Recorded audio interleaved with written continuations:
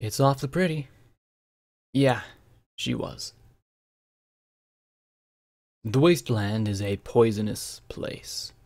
I don't mean the taint, radiation, disease. Sure, those are problems, but they're not the wasteland's true assault. All those can be fought or borne. They could even be defeated entirely. But not by one pony working alone, or by warring gangs or small, scattered, distrustful settlements.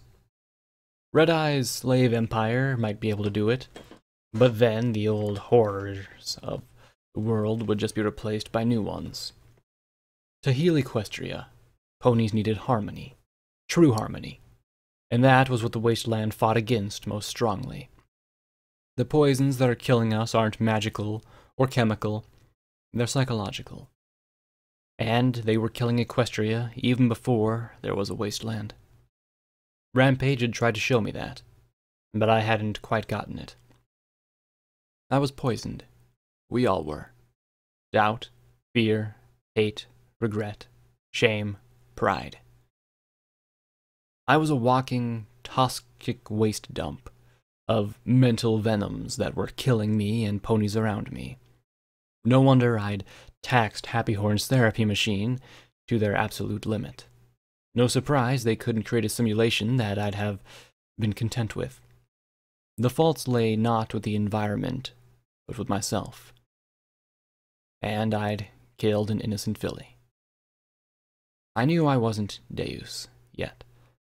I hadn't gone in there intent to kill Boing and her two friends. They'd been casualties in my fight with the Seekers.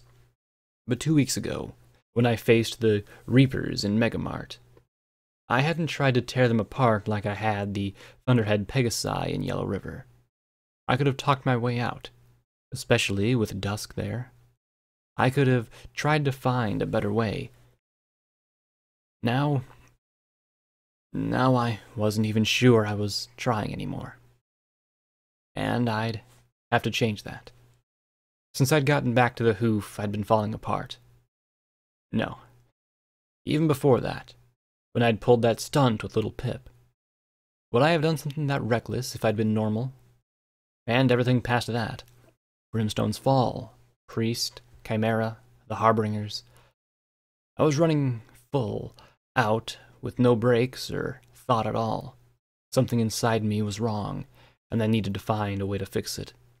Pieces of myself had been falling away bit by bit, and I needed to find a way to pull myself back together. And the first step was finding a place to sleep.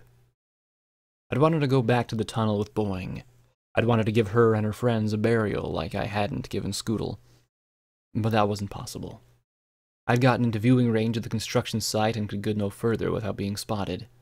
The Seekers were using the train tunnel to come and go in their search for me, and without a stealth buck, I'd be toast. Even with one, I doubted I could sneak out three bodies for burial. So now I was headed south, towards the western edge of the immense plug of black rock.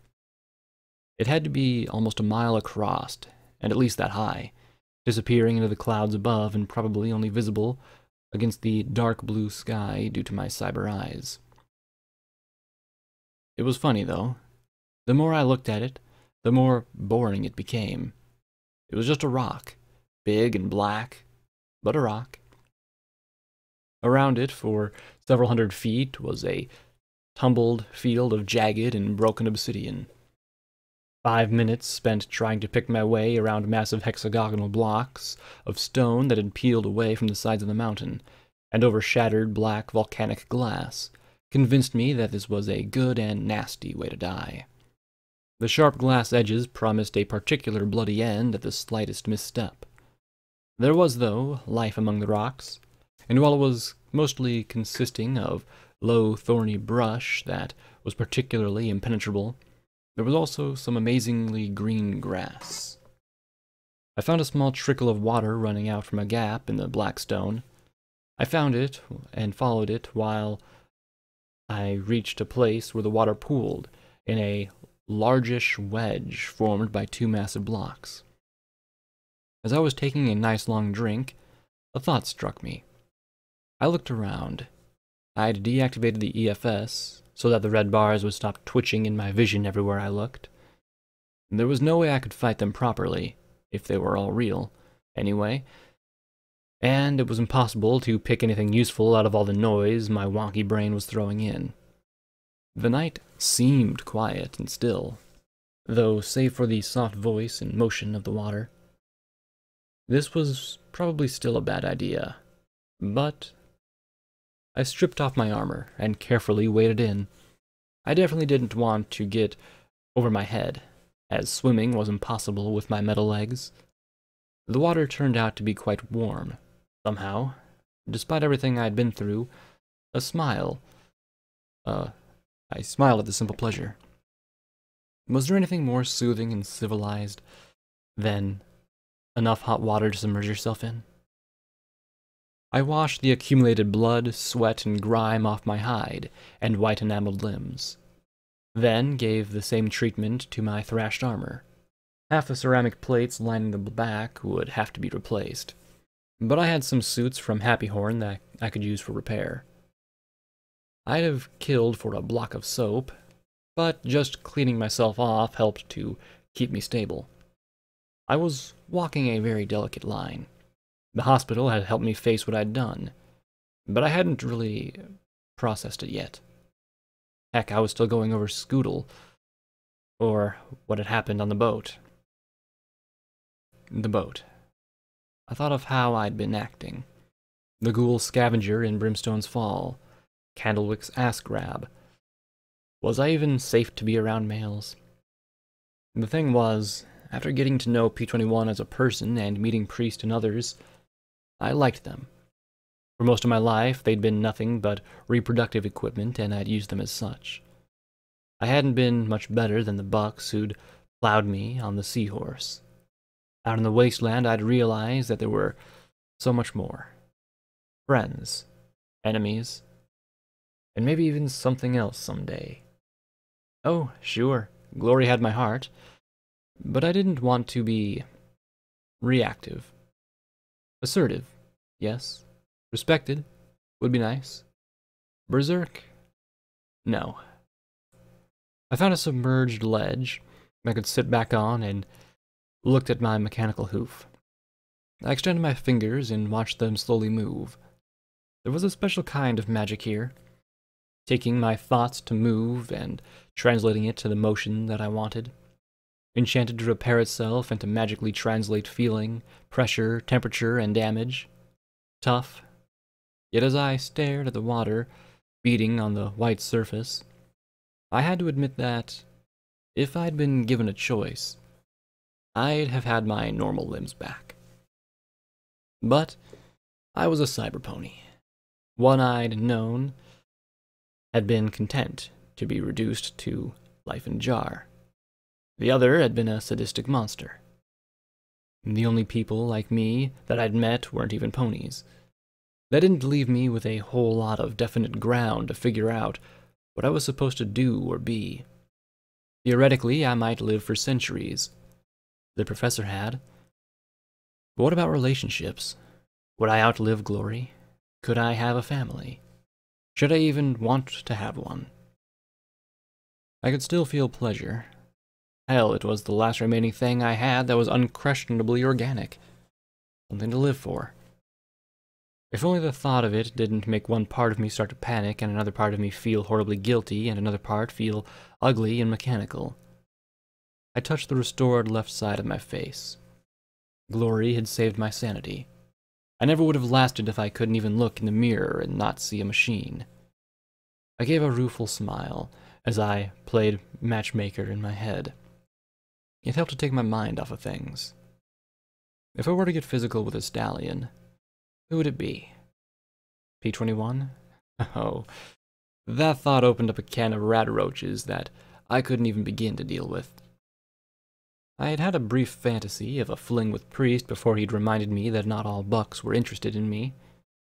What about Brutus? I thought about the massive black earth pony and smiled. Okay, there was a warm and fuzzy tingle. Sagittarius. He was a little older than me, but certainly had some possibilities. Splendid. Hmm. If he got past the whole society slavery thing, he was positively delicious. His strong hoof was a little too intense. Light hooves? That curled a buttery feeling churning in my nethers. So much for the thought of escape. And really, why was I contemplating who I'd like to slap flanks with at a time like this? Shouldn't I be kicking myself for bowing? Fearing myself for what I had done at Yellow River? Berating myself for not following Happy Horn's advice and finding a way to sleep? Or disgusted with myself for even thinking about sex after what had happened on the seahorse? Surely, I should be hating myself one way or another right now. Self destructive impulses. Gee, I wonder why the machine would say that, I muttered with a groan. I lay back on a rock, staring up. There was a gap between the clouds and the mountain, enough to let a tiny crescent of white moonlight peek through. The pale luminescence turned the black knob of stone into a glistening, ghostly sculpture. I had to admit, I was astonished to find anything beautiful in the hoof. This place seemed to thrive on ugliness and miser. Oh. Hello. Two yellow eyes peered out of the darkness from the thorny bushes. Vertical pupils cut through yellow irises, coming to points like a dragon's. The eyes watched me with a very steady stare, and I didn't dare move towards the gear I had left dripping on a rock beside the pool. Finally, a minute passed, and I began to get more and more tense. Can I help you? I asked as I slowly moved to stand on the ledge. Step by step, it, he, emerged. He was a pony like none I'd seen before his hide was a dark gray and his tail a deep purple. I couldn't see his mane under his helmet. To my shock, he had wings, but not wings like a Pegasus. These wings were leathery skin, similar to a manticore's. Rather than feathers, he had, uh, and his large ears, had prominent tufts at the end. I'd never seen a monster pony like this before, and I'd thought that Brass had been the last one anyway. He wore dark purple metal armor that appeared almost archaic, but it also was quite intricate and clearly well crafted and tended. At least that suggested that he wasn't a feral monster. Okay, look. Sanguine is dead, so let's just let bygones be bygones and I'll be on my way. Okay? Okay, I said with a strained grin. He stood on one of the rock slabs that formed the pool wall. I saw he had a freshly killed radhog slung across his back, bleeding all over his sides and wings.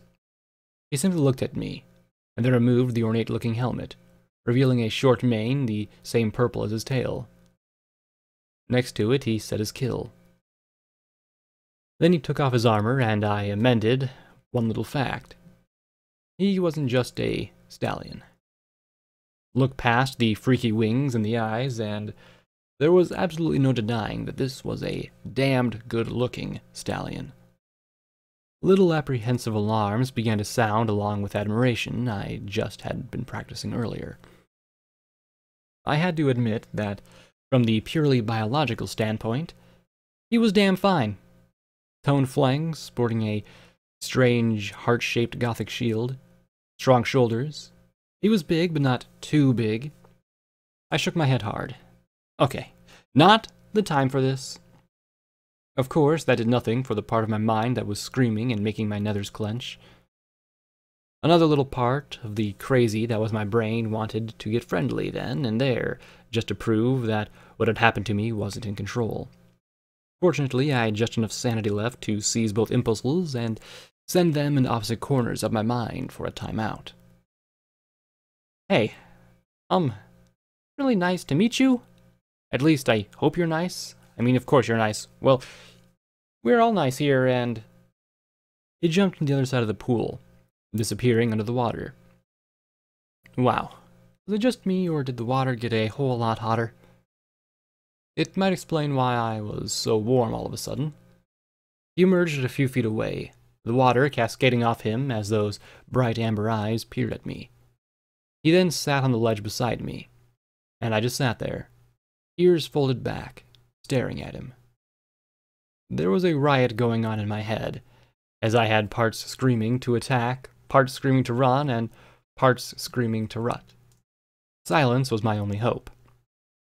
Fortunately, he didn't speak to the crazy cyber pony sitting with her legs pressed together and her tail so tight between them that it'd be like a pry bar and a little flattery to get it out. He washed the blood off his lovely charcoal gray coat. His wings stretched out a little. I couldn't take my eyes off him.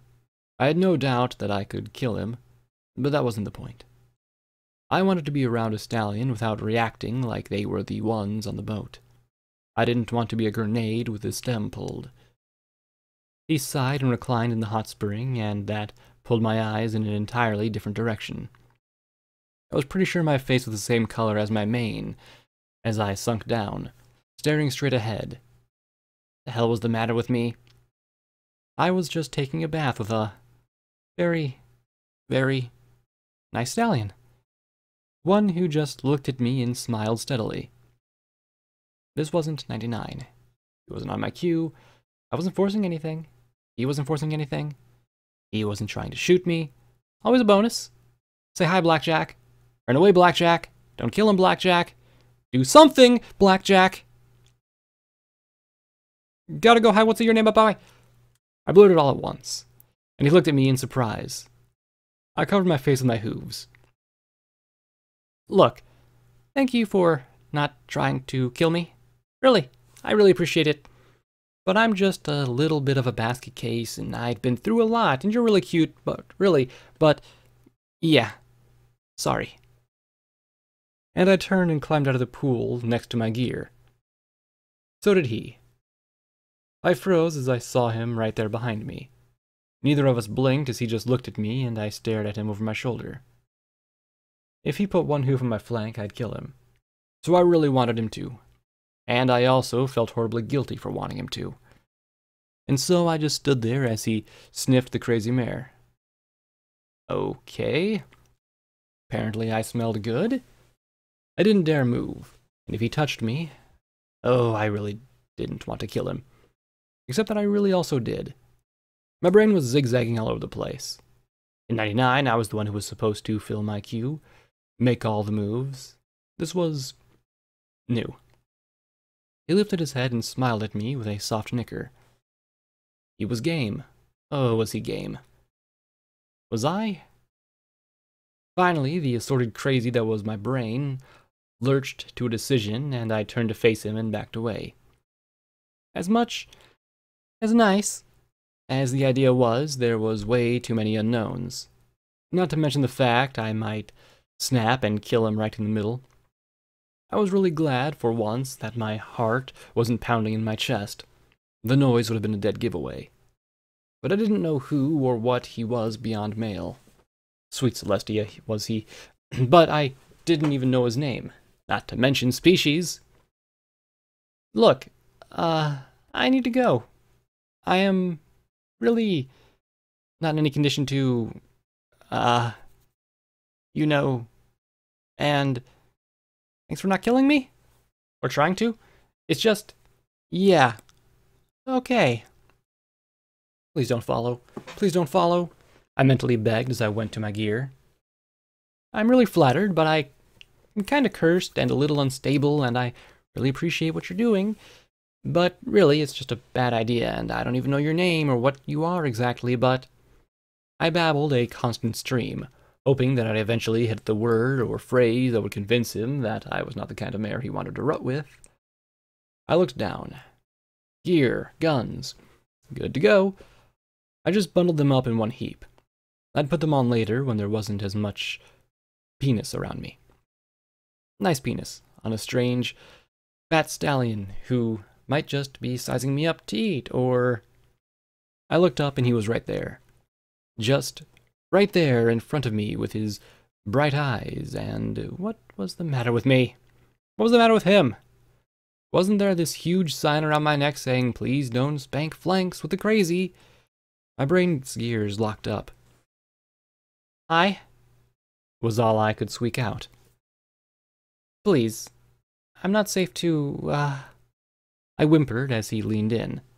I really didn't know what I'd do if he... Apparently, it was stop thinking. His lips met mine, and while I was in no condition to be kissed, another part of me came rolling to the front of my mind with primal rage, stomping every last bit of guilt from my crazy. Don't kill him.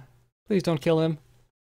I doubt I'd be angsty like crazy for this later, but for right now I would just let it go.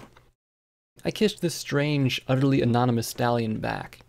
No doubt he'd turn out to have some sort of terrible secret or dark past or traumatized soul or something. But right now I had to admit that he was a damn good kisser. There was just one thing. I slugged him so hard that he landed in the middle of the pool with a splash. Fortunately, he wasn't half metal and floated there in a daze as I huffed, inventing all new colors of red. With him further away and my ardor momentarily doused, I was able to sort a few things out. I had to admit, I'd really needed that kiss. I might have rad roaches in my brain suffering from self-destructive episodes and be half metal, but as he pulled away, a little pony in the back of my head gave a little woot. I'm cute and good enough to get kissed by a cute guy. Cheer and dance. I quickly backed away, feeling confused and thankful and wary all at once. He blinked at me from the middle of the pool. I was oddly glad at the same time, alarmed to see him smiling ruefully. Um, thanks? But don't do that again, I said as the cheer wore off and the wariness resumed. But he seemed to be content with just that and backed away. The kiss had rearranged things a little. No rutting was off the table, and I'd smashed him if he tried. Panic was shelled for the time being. If he had friends show up, though. Hey, I just kissed a guy and was not shot. That was progress. Right? Ugh. Why now? I didn't know how to deal with a buck that was interested in me like that. First things first. So, do you talk? I asked him as he dragged himself out of the pool. He held the side of his face and frowned, but thoughtfully rather than in annoyance. Finally, he shook his head and pointed at himself. His mouth opened and closed several times, but then he pointed his hoof at me and covered his ears. You can talk, but I can't hear. I asked in confusion. Then he tapped his nose with a nod and smiled.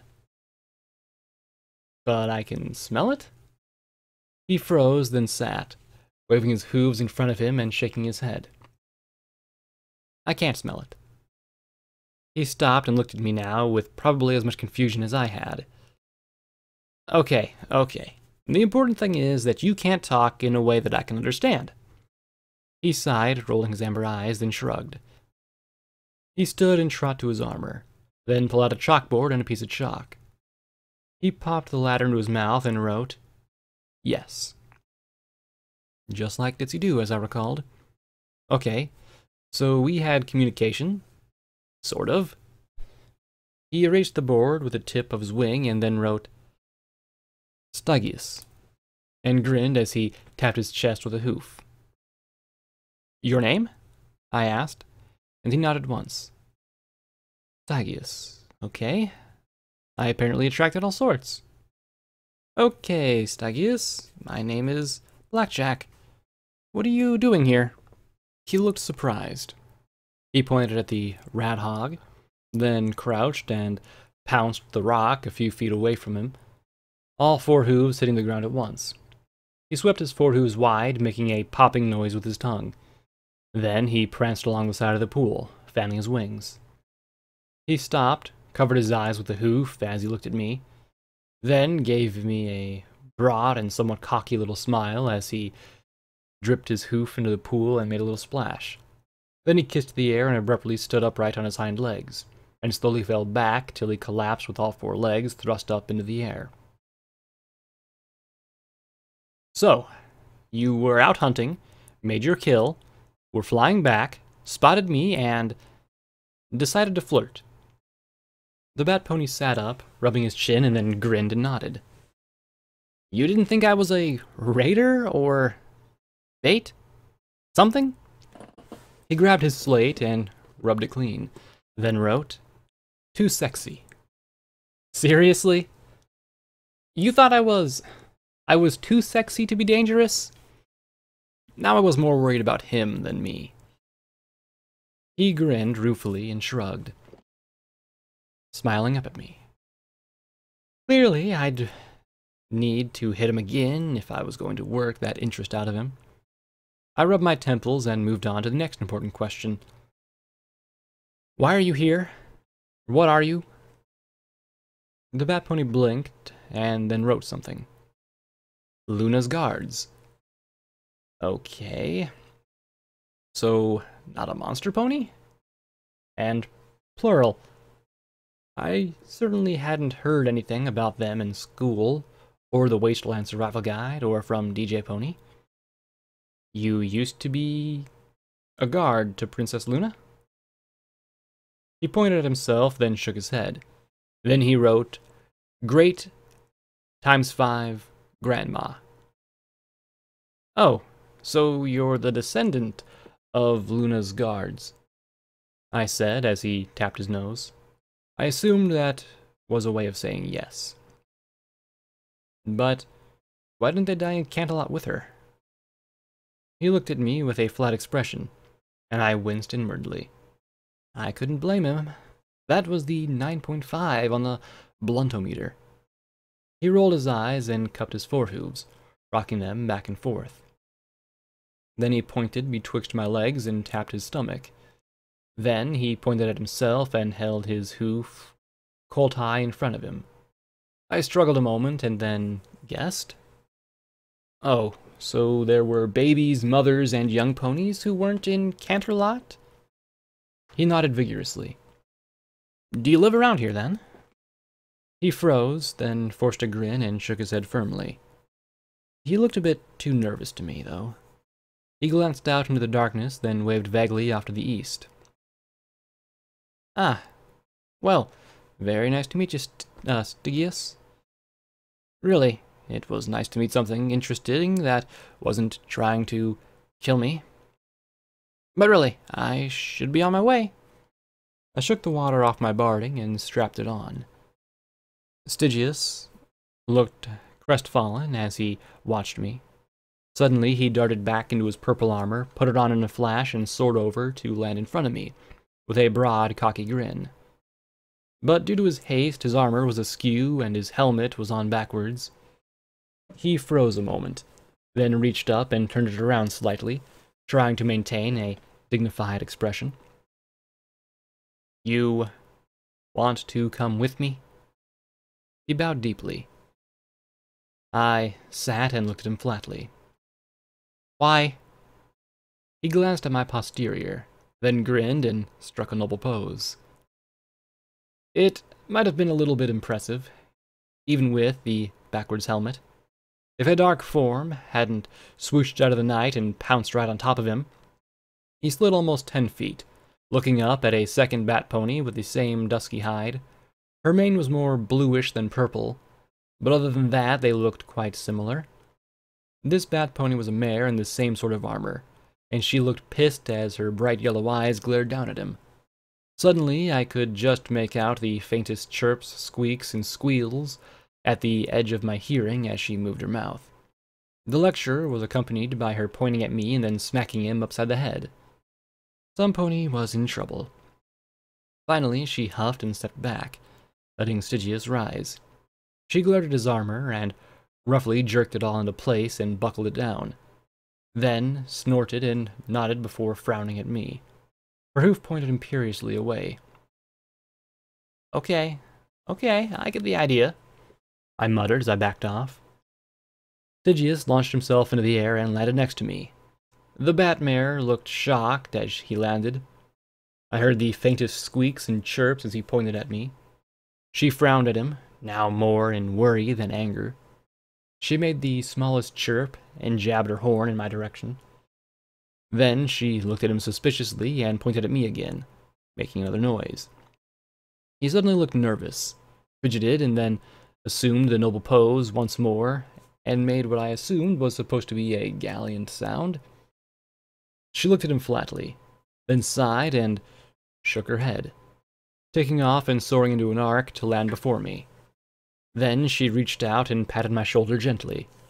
I just stood at her, I stared at her in utter confusion as she trot past Stygius with a scornful snort, grabbed the radhog in her hooves, and flew off into the night on silent bat wings.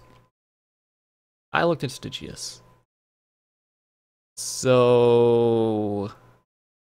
He sighed and grabbed his chalk and scribbled, Twin sister. A moment later, he added, Tenebra, underneath it. Strange names. Must be a bat pony thing. He erased it and then wrote, She mad. No, really? Why? Rules. He made a snapping motion with his hooves, then pointed at me and shook his head. Breaking rules? Oh, you weren't supposed to, uh, join me? I asked. He smiled and tapped his nose. Why not? He blinked, frowned, and started to move. Stopped, then frowned again. He erased the board and started to write. Frowned, erased it, started again. Finally, he huffed softly and wrote, Cuz, and nodded once. I suppose that would have to do. And you want to come with me? He grinned and bowed deeply. Why? He blinked and started to strike a pose, but my flat look made him freeze. His grin became tense. He slumped, took the chalkboard, slate against his hooves, erased it, and wrote slowly. When he'd finished, he hung his head as he held the slate up between his hooves. Your pretty mare. Pretty, I said as I took a step back. He nodded and sighed. You want to come with me because I'm pretty? He nodded again, peeking at me. I covered my face with a hoof. Look, Stygius, I have issues. Balefire bomb-sized issues. I might just snap and geld you because you looked at me wrong. I just got out of an insane asylum. Heck, I've got an army of cultists trying to track me down. I didn't mention the worst thing I'd done in the last day. The smart thing for you to do is go and join your sister. I'm nothing but trouble. He blinked and frowned, then rubbed his chin. Seriously, I'm not safe to be around. He pursed his lips and then stared at me. I took another step back. C come on. You can't seriously want to come with me just because I'm pretty. He gave an easy grin and nodded. Nasty, suspicious parts of my head were hissing all kinds of accusations. This was obviously some sort of plot. There was some kind of scheme here. No stallion could want to just trot along for the heck of it. He wanted something. I was fairly sure it was right underneath my tail. But that was necessarily a bad thing. Oh yes, roared a part of my mind. Maybe not, murmured another part. Once upon a time, P21 had accused me of having trust issues, in that I was really, really stupidly trusting. Now here I was, suspicious simply because a strange buck liked me, was interested in me, and wanted to come along. I laughed softly, shaking my head and earning a quizzical look from the charcoal bat pony. Bat pony. There had to be a better name for them. I sighed and nodded in resignation. Okay, but please don't get killed. Don't try anything too friendly. Then I frowned and added sharply, And don't shoot me!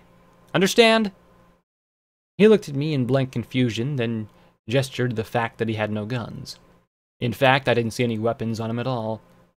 If I was lucky, that meant that he was such a master of hoof-to-hoof -hoof combat that he didn't need them. But this being me, it probably just meant that he was good enough to take a radhog by surprise, and had never needed to fight anything else. Don't look at me like that. Just because you don't have a gun doesn't mean you can't do something to shoot me with. Wait. I froze as I felt myself turning red as he looked at me with a smile that was still way too cocky. Um, smug, for my liking. I mean bullets. Shooting! Bullets! J just don't!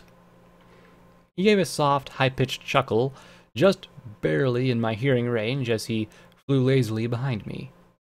For the first time ever, it was my tail that was feeling all tingly, not my mane.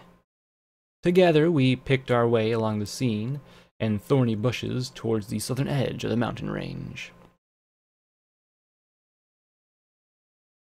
And she said she was cursed. Cursed! Just for bumping into me. I mean, I know sometimes I cause trouble for ponies without meaning to, but cursed? That's a little upsetting. I rambled as we made our way along. Clearly, traveling with me for more than an hour and hearing my entire life story hadn't really convinced him that I wasn't the safest mare to be around. I left out the worst parts, though, for now, and might have shuffled things up. He was flying after me with a funny look on his face as we crept around the edge of the talus. At least, I hoped that meant that he was reconsidering. Like the far side of the valley, this area had more sparsely development. What had been built here looked like it had been built like bunkers.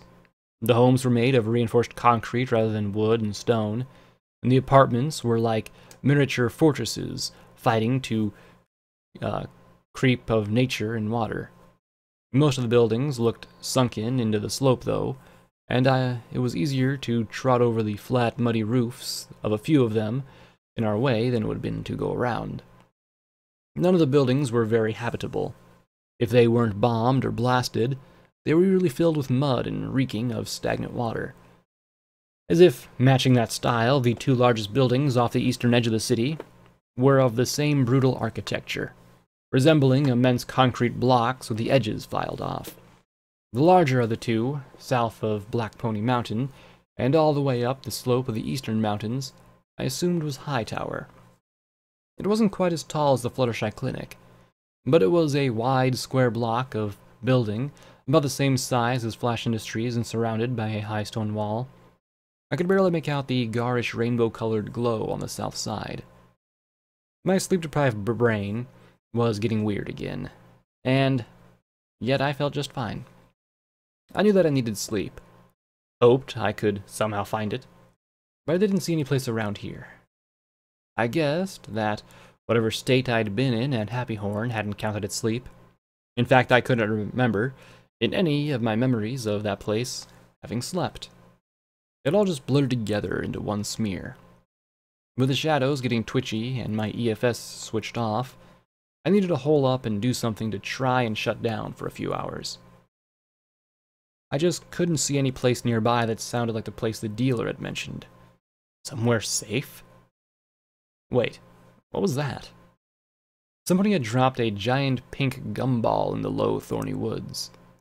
The gnarled trees obscured it, but from the sight, it was impossible to miss. It glowed softly, with a strange internal illumination. I found myself just staring at it in shock. I pointed down at it with a hoof. Um, what is that? Stygius simply shrugged and made a motion of pressing against something, then beating it with his hoof, and then he launched his shoulders once more. Ah. Well, it was the most unusual thing on the slope, so might as well check it out. Making our way closer to the pink ball, I found myself looking nervously at the trees. These were actually alive. And after my last experience with a forest, I was definitely very leery of timber wolves, exploding apples, anything blue. However, aside from a carpet of dead, soggy leaves under hoof and numerous little streams trickling along, there wasn't much that stood out. I tried eating one of the greener leaves I found, but it tasted like a mouthful of tart wax. That didn't stop me from eating it, of course but it did give me some curious looks from Stygius. He chewed cautiously on one and spat it out immediately. Life endured, even in the wasteland. Most of Hoofington might be dead and sterilized, but life was crawling back. This was the result of two centuries, though, and there were other parts of the hoof that were still just as dead, forest and struggling yellow grass. Without something like Gardens of Equestria, who knew how long it would take for the land to recover entirely?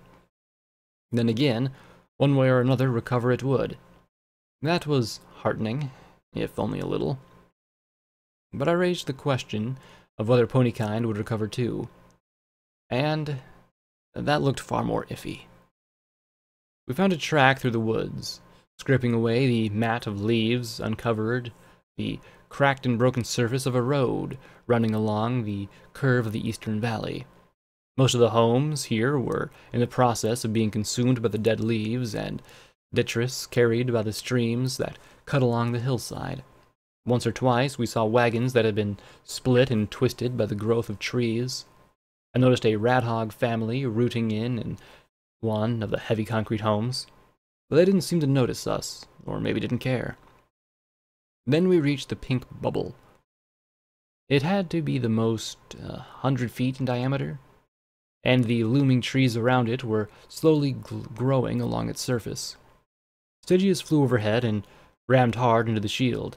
To my amazement, it indented a great distance before snapping back into place and flinging him away.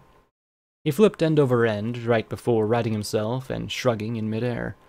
Then he flew down next to me and stood upright, leaning against it. I trod up to it and pushed a hoof against the surface. There was a ripple, and he tumbled through. I stepped through beside him and looked at him sprawled out on his back and gaping at me.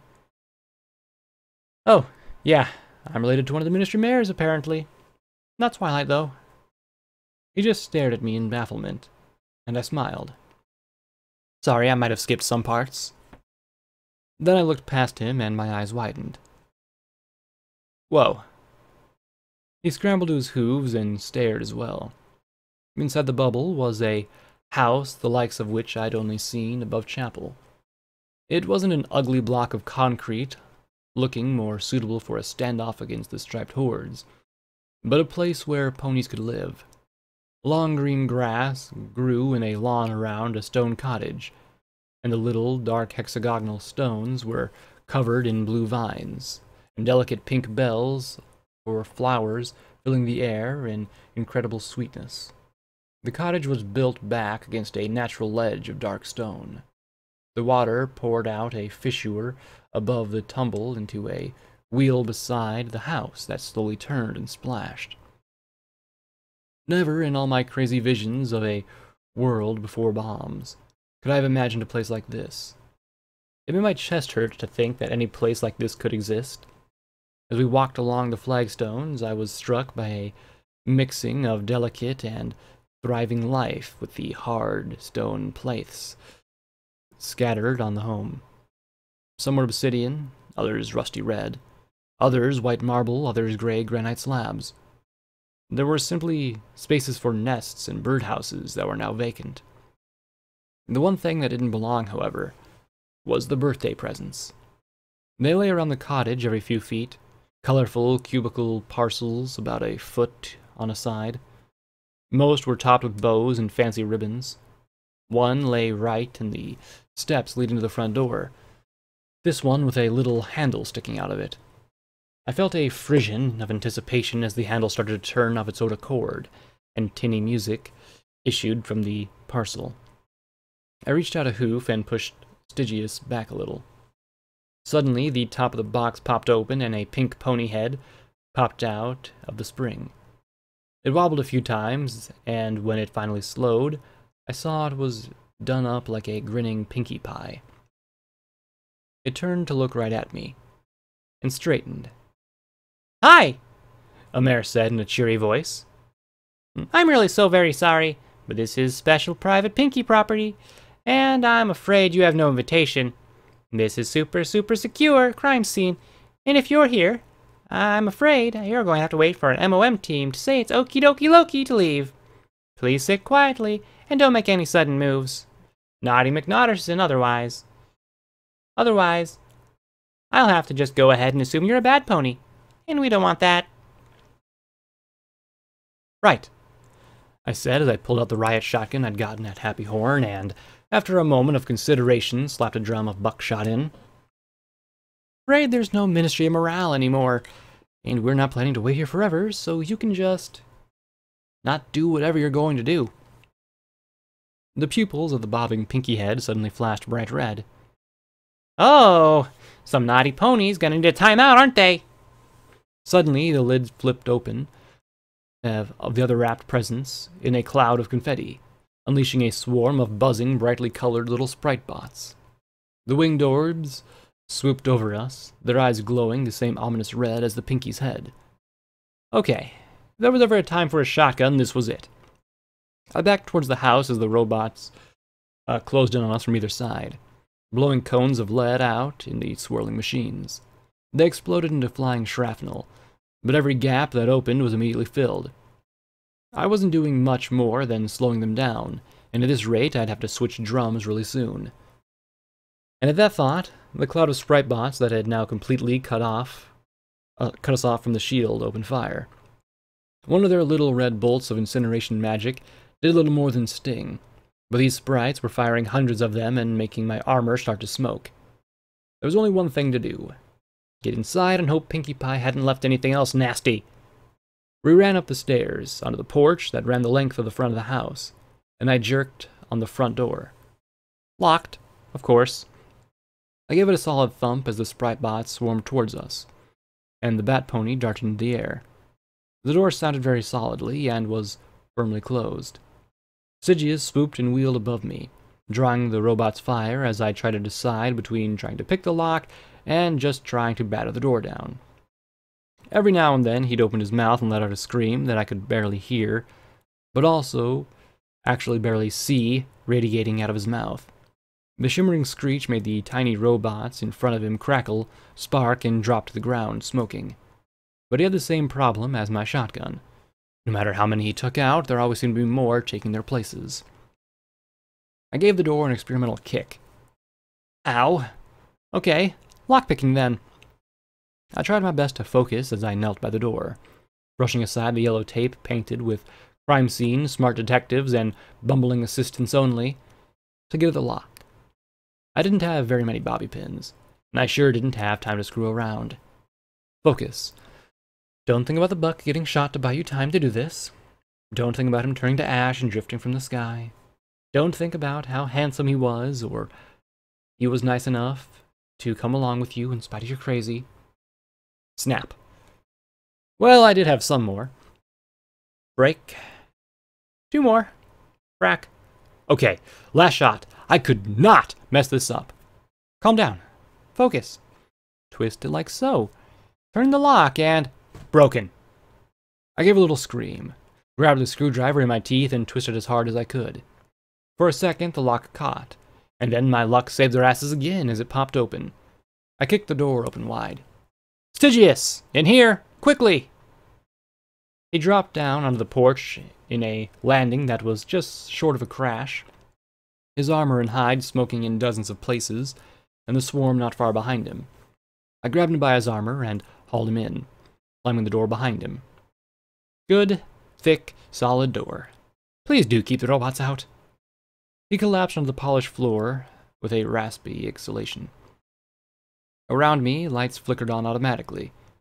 I looked around anxiously, shotgun out, but didn't see anything that looked hostile. What I did see was that the house was, astonishingly, completely clean. Aside from a faint layer of dust, I might as well have been 200 years in the past. I had to take a second look at Stygius to make sure that I wasn't seeing things. Though I still might have been, of course. Then I kicked myself in the rump and set to finding some healing potions. With all the grass outside, I doubted this was an enervation ring here. I ran from room to room and finally spotted a yellow medical case bolted to the wall in the water closet. I was thankfully unlocked and held four bright purple healing potions. I immediately lifted them and raced back to him. Don't die. Please don't die. You're cursed, Star Maiden. No, I'm not. Curses, schmershes. He was definitely on the well done side, but he was still breathing when I reached him.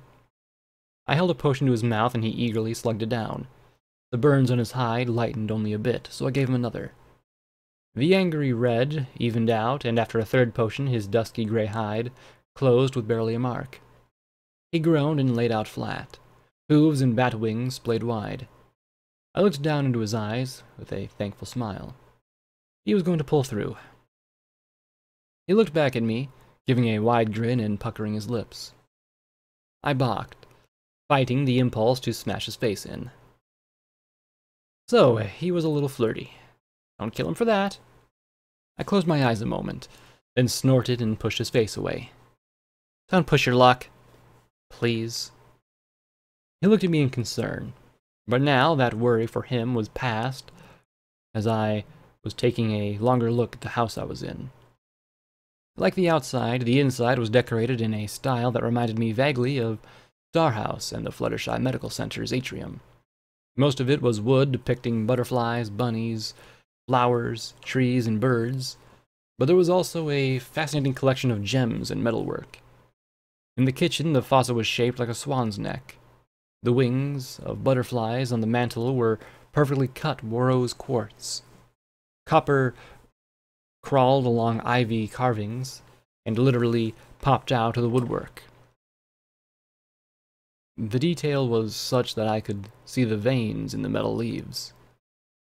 One thing was out of place. There were stacks of bright pink plastic crates piled up next to the door. All of them bore the grinning Pinkie Party icon of the Ministry Morale. I noticed the checklist on the clipboard resting on top, though, and read Ministry Morale Crime Scene Evaluation Checklist for Super Smart Smarty Pants Detective Ponies. Checkmark number one. Know who the bad ponies are. Checkmark number two. Arrest bad ponies. Number three. Find evidence to prove bad ponies are bad. Number four. Question bad ponies to give up other bad ponies. Number five. Repeat steps 1 plus 2. Now, I might not have known a lot about uh, crime scene evaluation, but I found myself extremely grateful that Pinkie Pie hadn't written that security procedures 499. I doubt there'd have been a mayor left under such guidelines. I dug through the crates, keeping an eye on a and a riot shotgun out for anything that flew or talked, but there were some empty, save for crates, dozens and dozens of little envelopes, and plastic bags. There was a date written in one of the boxes, at the top of the MOM ECS EC3 SDP. That piqued my interest, though. The day before the bombs fell. Decorations like the Fluttershy Clinic and Happy Horn searching for evidence in a house that had some kind of magic bubble around it? And who was a prominent figure arrested for treason right before the bombs fell? The book I found in Tenpony had said that this place was near Black Pony Mountain. The dealer had steered me to it. Goldenblood's house. Standing there, I felt a shiver run through me as I stared around the great room. Here was where the stallion himself lived, where he'd hatched his schemes, where he'd had a brief life together with Fluttershy. Clearly, he'd done all he could to make this place her home as well. This home had absolutely none of the ostentation of Blue Blood Manor. Everything appeared to be simply crafted, yet there was also the quality in the woodwork that I simply couldn't shake. Stygius appeared far more concerned about me as I sat there, staring at the furniture and decorations. I might find out everything I wanted to know here. If it hadn't been removed, I simply had to search. Sleep could wait. The ground floor turned out to consist of a library, some sort of workshop, a water closet, and the kitchen adorning the great room at the front of the house. Stairs led up to a balcony running along the top of the enclosed rooms, and some more doors opened off that. I trotted the kitchen cupboards and opened them only to see that they were devoid of any food. The plates were all neatly stacked, though, the forks and knives polished.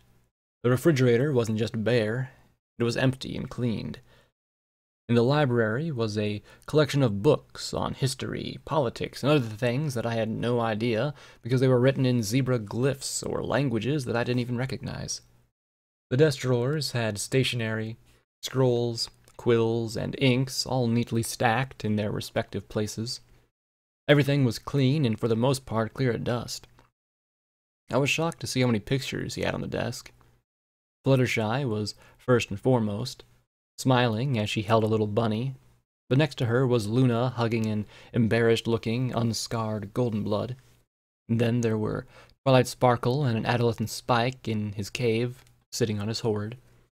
Applejack and Apple Snack, looking equally uncomfortable at some fancy function. An incredibly young looking Pinkie Pie dancing around a toothless lizard with her friends. Rainbow Dash flying in uniform. Rarity wearing a stunning dress in black and red. Yet as I sat and looked around his desk, I also took in what wasn't there.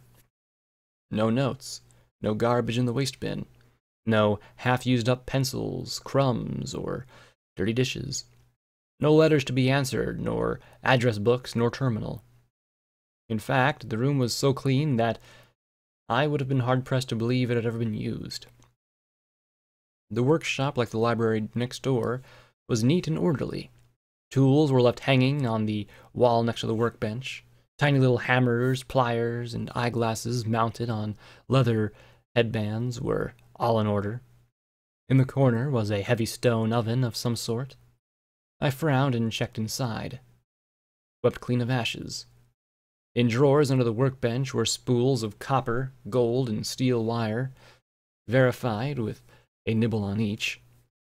Goddesses, didn't that get a funny look from the dusky bat pony?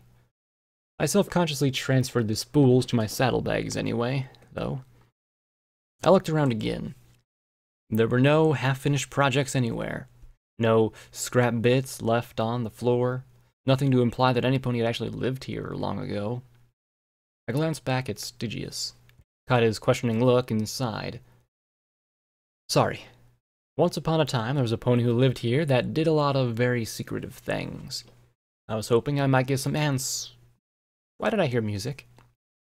There was distant and tinny, like a bad recording.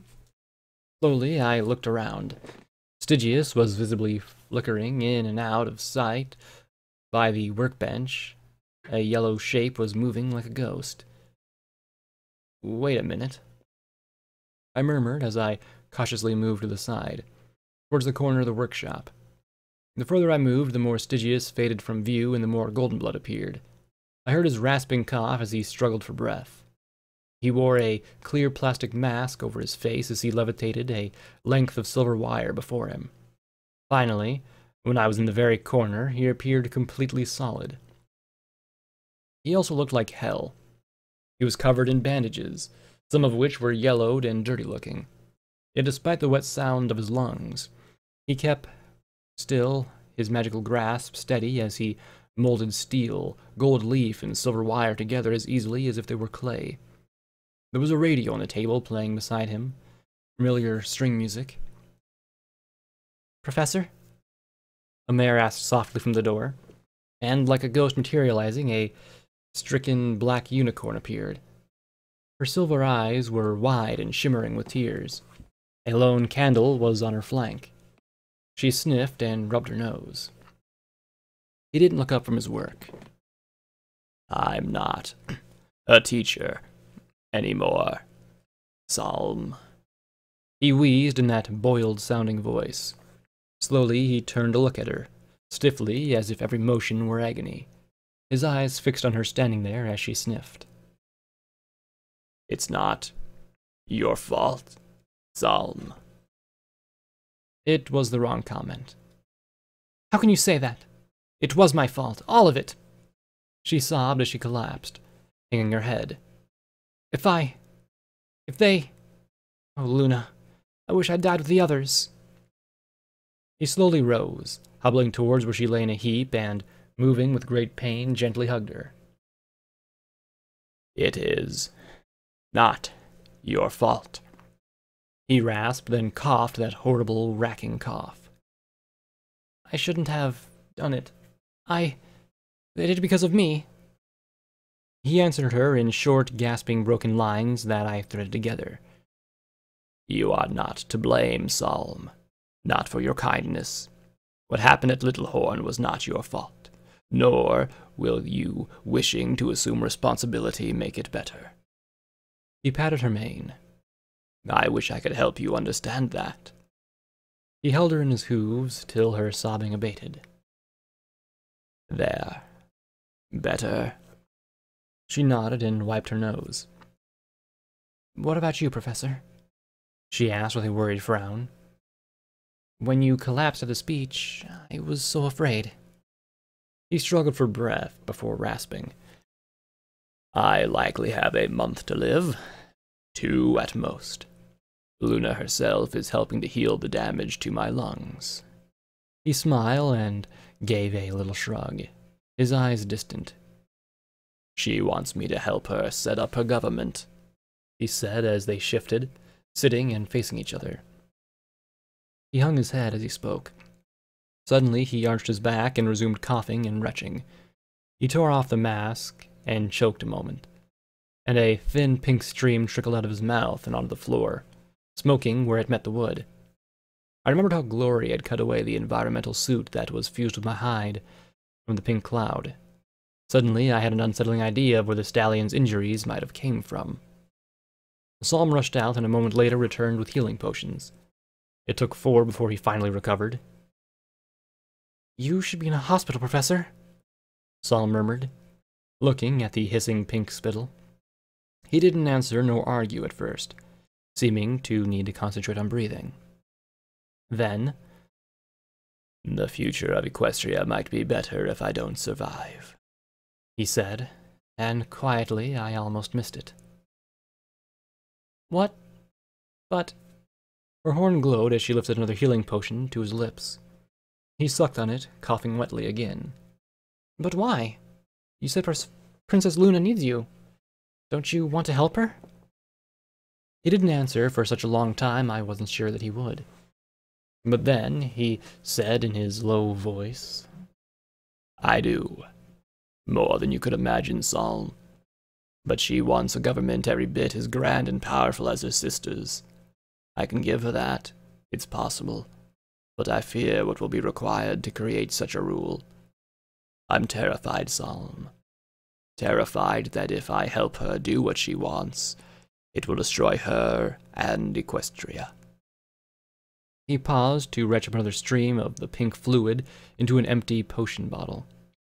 Then he sat back and caught his breath. He looked up at the ceiling. I can see it now, Psalm. She will be loved, but unlike her sister, she will be feared as well. She'll have all the power of Celestia in her hooves, but she'll not need to use it. Misdirection, doubt, ambiguity. Those will reign, and there will be none to stop them. Not for centuries, at least. He sighed as he closed his eyes. A strange calmness seemed to spill over him, and his words became stronger. It's like I can look ahead the entire span of a millennium, great and terrible and bloody. There will be murder, slaughter, betrayal. History assures it.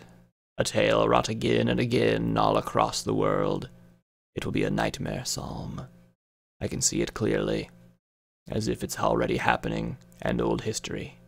Past, dead, dry. He shook his head and said in his raspy voice, his voice flowing like a hissing steam pipe as he spoke with a look of sad resignation. I've never been so certain of anything as I have of this psalm, so I must ask myself, would it not be better, more merciful, to help it fail, to bring about its ruin swiftly, and surely, and in the process save the hearts and souls of both Equestria and Luna from that grim future? Or should I embrace atrocity, and try and steer this bloody calamity towards some yet unknown beneficial conclusion. What is a hundred dead? A thousand? A million? Over the span of a thousand years and more? What is a few cold betrayals when we've all passed into the afterlife? He shuddered and once more broke into a great heaving cough. He spat more of the pink foulness into the bottle and sighed. Truly, death would be a fine, if cowardly, escape from these questions churning about in my head. Finally, he relaxed, and Psalm cracked a tiny smile. "Mm, Wow, are monologues a side effect of the poison, Professor? Her attempt at humor prevailed. He smiled back. I'm dying. It gives me tremendous license toward melodramatic. Then he laughed and immediately broke into deep, wet, heaving coughs. When he'd brought up more pink, he sighed. I just don't know what I should do. Professor, she's. She's not just Princess Luna. She's Luna. Our Luna. The one who actually read your papers on uh, petroculture and zebra mysticism. The one who didn't think that a rock hunters club was a stupid waste of a unicorn's time. We have to help her. Goldenblood closed his eyes and shook his head. Psalm pressed her lips together, then nudged his shoulders. If you don't, Professor, every pony else will. The comment stared him, and his golden eyes opened, his lips pressed together in a line.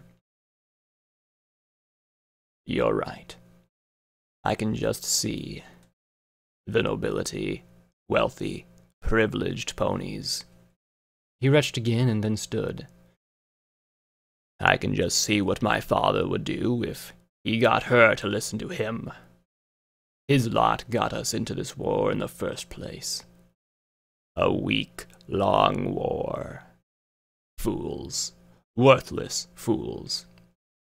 They'll perpetrate the butchery ad nauseum. It's not as if they send their children to die. Goldenblood murmured as he paced slowly.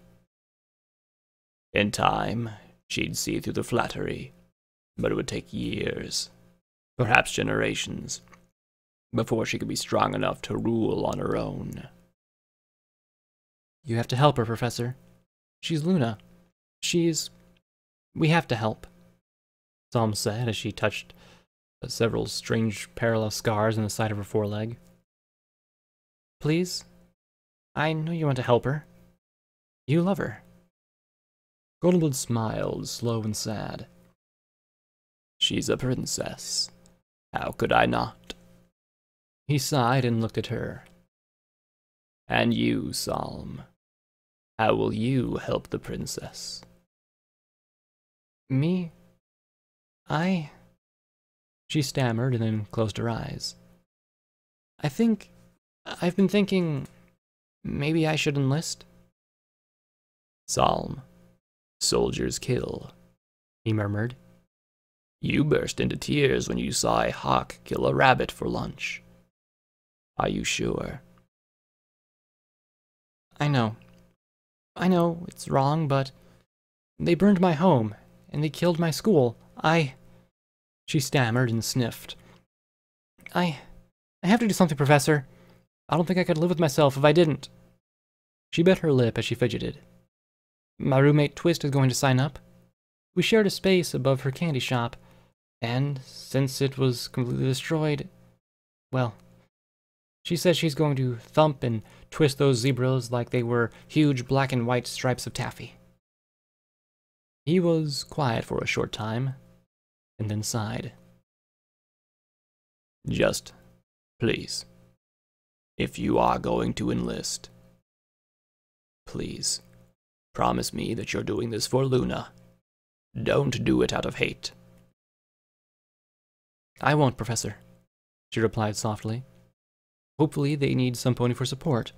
Carrying water, or helping medics, or... or something. I doubt I'll ever have to kill any pony. Funny, remembering her fighting alongside Big Macintosh, I'd say she proved quite able. He smiled and lifted the steel rose with his Magic. The glow deepened, and the rose came alive, the petals extending and curling, gold and silver. Finally, he bent the stem and hooked it gently around her ear. It gleamed brightly against her ebony coat. Here, take this. For luck. Professor, I can't. It's too. too good for me. I don't deserve something so lovely, she said, blushing. Indulge me. I'm dying. It'd be rude to not accept, he said with a raspy chuckle. Now, help me get into the kitchen. The hospital provided some absolutely horrid mush for my meals, but that doesn't mean you can't have something nice to eat. She helped him to his hooves, and together they walked out of the room. My vision flickered, and suddenly a pair of slitted yellow eyes were staring into mine. Gah! I shouted, my forelegs kicking out at him, but he seemed to be wise to me and nimbly darted back. I looked around, and then slumped. Whoa, that is so weird. He pointed at me, then suddenly swayed as he sat on his rump and let his eyes go glossy. Sorry about that, I said with a little frown, rubbing my mane. I sometimes have.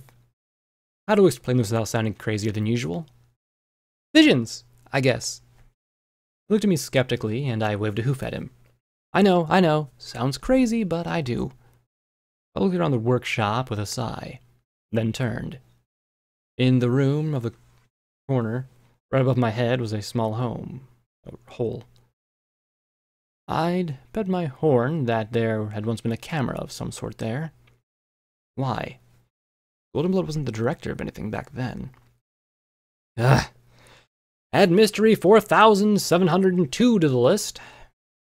I rose to my hooves and gave myself a shake looking at the concerned bat pony. He smiled at me and gestured with his hoof like he wanted me to go on. I groaned and shook my head.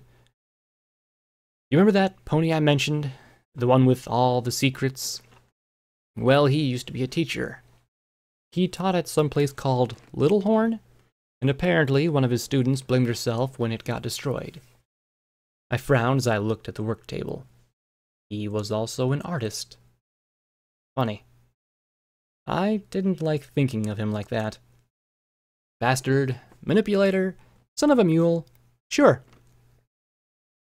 He helped Luna set up the ministries, but he didn't want to. He really didn't. I shook my head. I guess he cared too much for Luna to turn her down. He gave me a sideways, appraising look. He pointed at me, clenching his hooves over his chest and thumping them rhythmically as he adopted a besotted expression. I noticed he was just a bit nervous as well. You want to know if I have a very special sun pony? I asked, and he nodded. I smiled fondly. Yeah, I do. Her name's Glory. At once his smile melted and he slumped. What? He rolled his eyes towards the roof, hooves wide, looking anguished. What? What's wrong?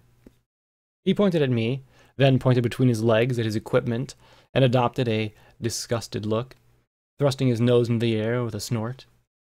He looked quite disappointed. I couldn't help myself and smiled.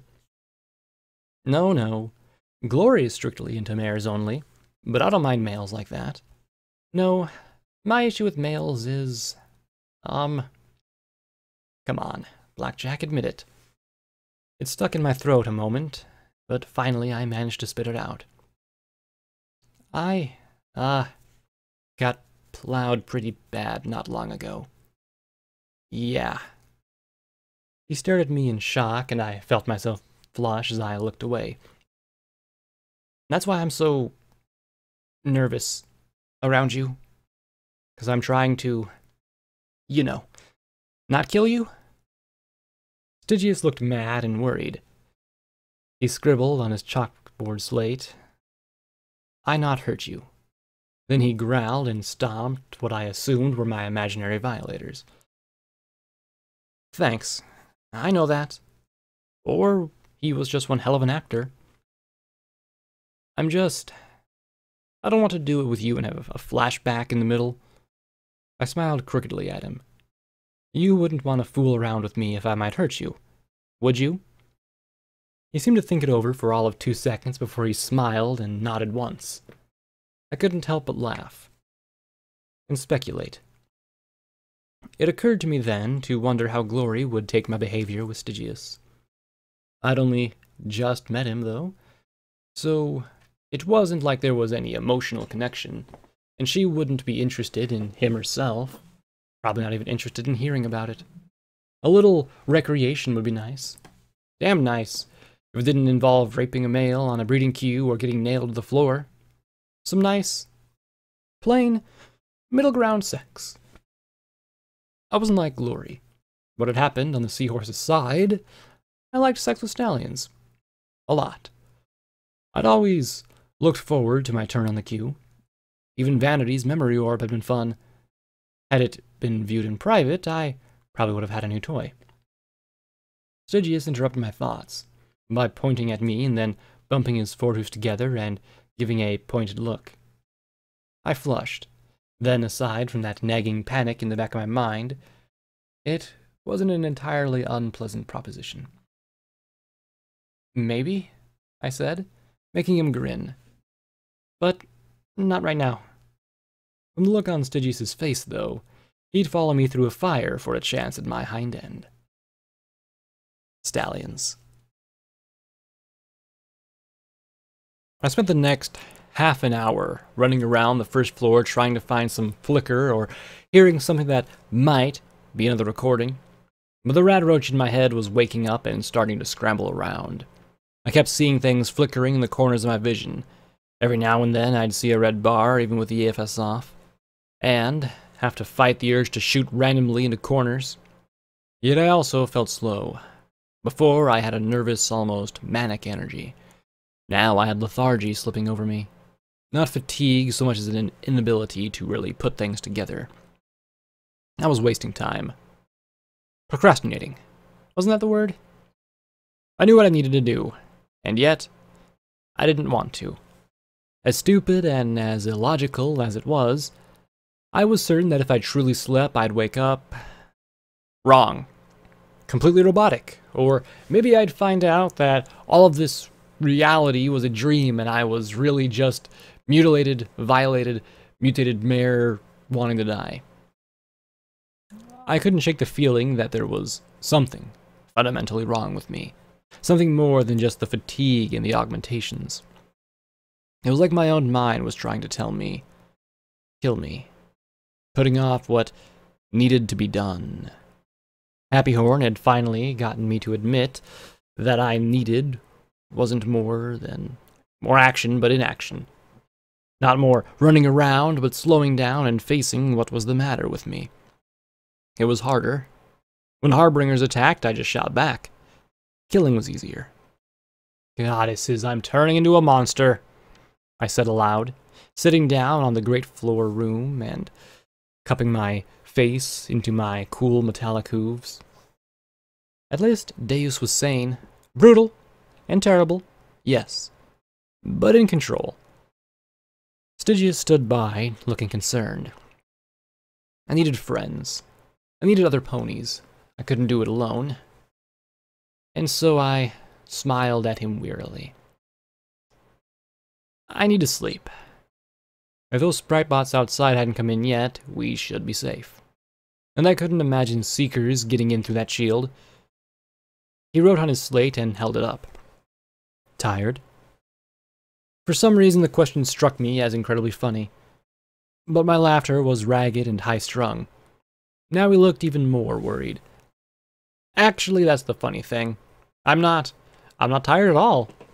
I trotted the couch and looked at it with a sort of dread. I remembered lying down after Priest died and not being able to get up again. Not sleep, just lying there. It's just, over the last day, I've blown up a secret facility, gotten chased by a giant killer robot, had half my face melted off and sewn back together, been attacked by a half dozen times, discovered my best friend was a drug addict, tried to comfort my mare friend who turned into Rainbow Dash, had a refinery blown up around me, watched a buck take out a tank with a rifle, trot through a horrific prison camp, ripped apart an Enclave squad, killed a filly, and was plugged into a mental therapy machine in an insane asylum. I turned my back on him, in my skull. Maybe it was the fatigue that was making me all flirty and boy crazy. He tapped his slate. I looked over at him, at his worrying face back at me. Killed a what? I closed my eyes and sighed. It was an accident. I didn't realize who she was until it was too late. But I still killed her. The tension in my head was growing again. I know it was wrong. I wanted to make up for it. That's all I can do now. That made him look less angry and more concerned. He pointed at me and then shrugged in confusion. I. I need to sleep. My brain needs it. I need it. I just wasn't sure I could anymore. He pointed at the couch, and I lay down. Hey, Stygius? I was wondering, where do bat ponies like you come from? Ugh, procrastinating again, Blackjack. He blinked and scrunched his brows together. I guess that that was sort of a question you couldn't answer in a few words on a blackboard. Sorry, never mind. I just... I sighed as I closed my eyes. It's been so long that I... I don't know how exactly to do this. I lay there for a few seconds, then heard the soft click of a door closing. He was a nice guy. The fact that he wasn't okay with what I'd done to Boeing showed that he wasn't just some killer. Okay, maybe he was a bit of an idiot, following me. Assuming he didn't have some outside agenda. Maybe he... Sleep, Blackjack. That's what you need now. Sleep. Don't think about anything but that. Though it would be nice for P21 to have a guy he could, hopefully, relate to. I hoped they could be friends.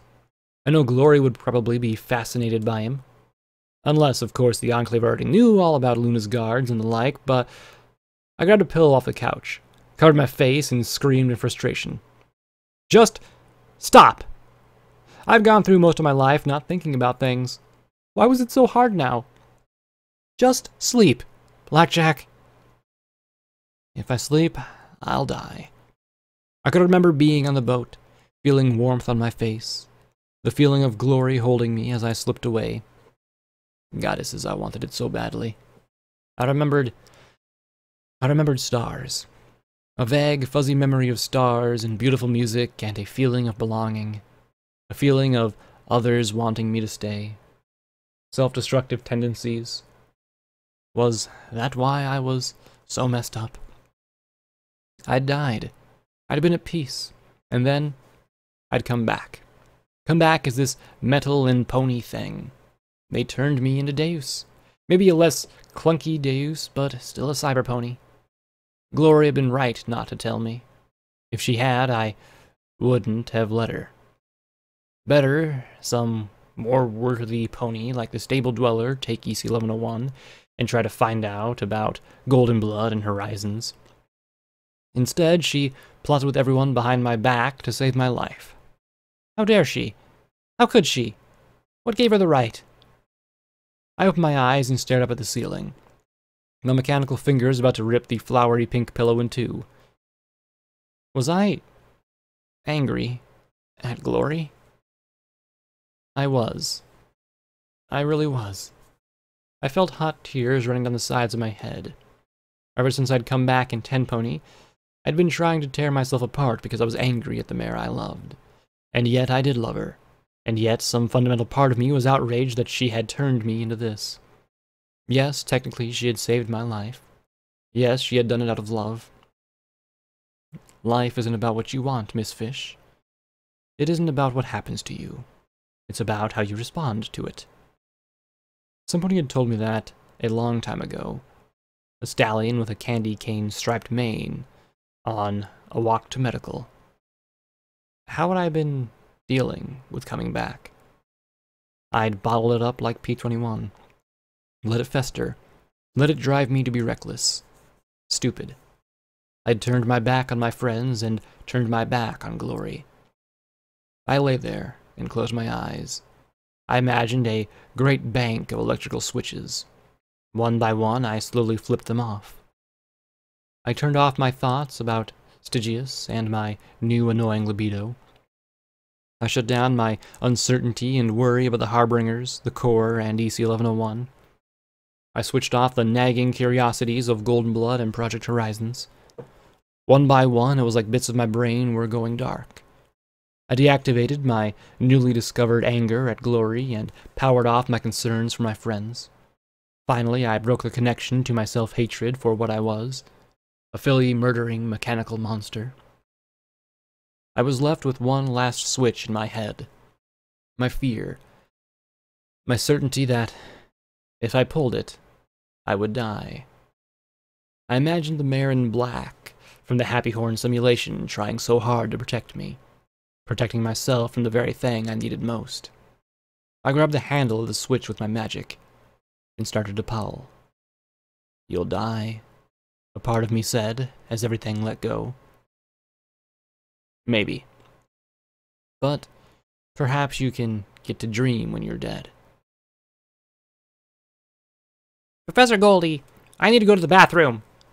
Rampage whined, the striped filly hopping about on her hind legs, with them crossed as we scrambled along the floor of the canyon.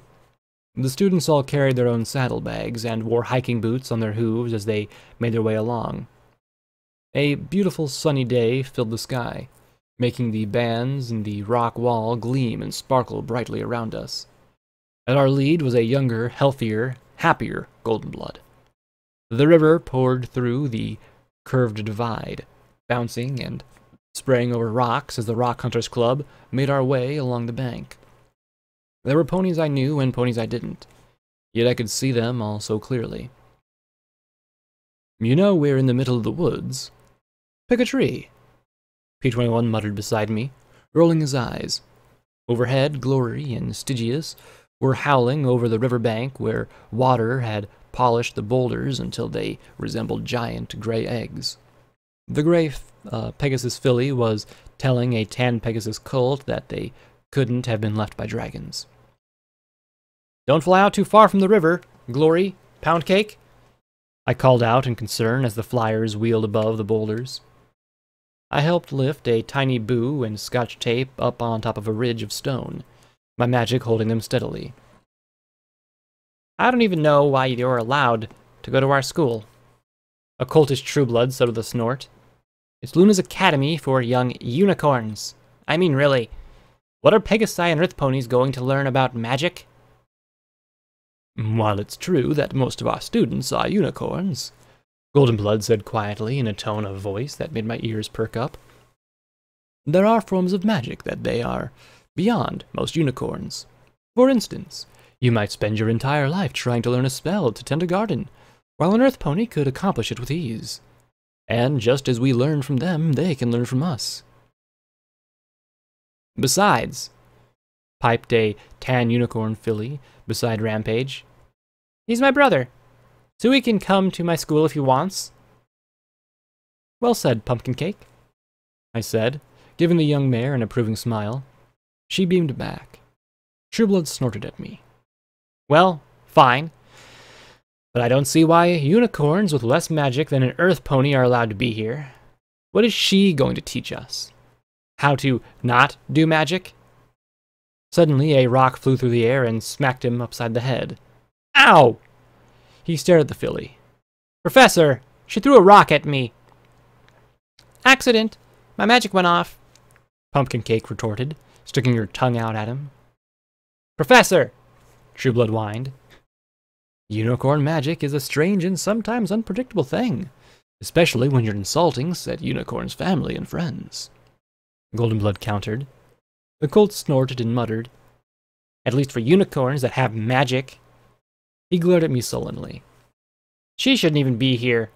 When I tell father, he'll write to Princess Luna about me being around dead horns like her. I dropped my head a little. I really didn't want to get fired from this job.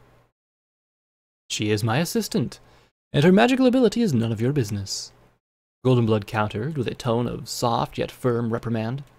Their eyes met, and the maroon colt lowered his head, muttering to himself. Goldenblood's gaze met mine, and the pale unicorn smiled. Professor Goldie! Rampage whined as she hopped in place, screwing up her face. Tree. Just use, P21 muttered. Goldenblood sighed. I'm afraid he's right. Otherwise, it's a long way back to the toilet at Littlehorn. Oh! She whined and then darted off into some bush. Don't look! She shrieked. Who'd want to? P21 asked as he shook his head, looking around at the others. Hey, what are you doing in those bushes? Poundcake called down from above. The filly's scream echoed up and down the canyon's walls. With that disaster out of the way, we reached a spot near the end of the canyon. Here, the black rock was scoured clean by a torrent of water pouring down from hundreds of feet above. Cool mist played on my hide and dripped off my mane and into my eyes. I wiped the wet strands away and sighed, looking around at the bands of stones in the canyon walls, shown so clearly with the wet bringing out the colors. One particular reddish yellow band of stone stood out above all the others. That was because this one had teeth. The massive fangs of some enormous creature were frozen in place where the profile emerged from the rock. Whoa, cool, Poundcake said as he flew above us. Whatever the creature was, it had been two or three times the size of a pony. There were lots of other grayish bones visible in the rock band. Thank you, Poundcake, Goldenblood said as he smiled at the tan Pegasus colt. If you remember our last session, I pointed out how sedimentary rocks form. They create bands of stone called strata. These strata are usually arranged from youngest rock at the top, with progressively older and older stone further down you go. Like your room, bro. Pumpkin Cake teased the Pegasus with a grin. What about those, Professor? Are those b b bones? Rampage stammered as she nervously poked one of the shapes embedded in the wall. Once they were, but now they've become special rocks called fossils. Long ago, this creature was alive as you and I, Goldenblood said as he gestured at the cliff wall. Then it died and was buried in this muddy sand. Over a very long time, its bones were transformed into rocks, like the ones you see here. His horn glowed as he levitated out a rock hammer, carefully picked up one of the fossils, and passed it around. Or at least around until it got to Boo. The pale earth filly then popped it into her mouth and started chewing on the fossil like it was an extremely stale biscuit. How? Was there an outbreak of cockatrice? Trueblood asked with a skeptical scowl. Actually, there are some theories that the transformation occurred with no magic at all, Goldenblood said with a smile. The maroon colt snorted disdainfully. Yes, that's the typical reaction. The pale unicorn said with a chuckle.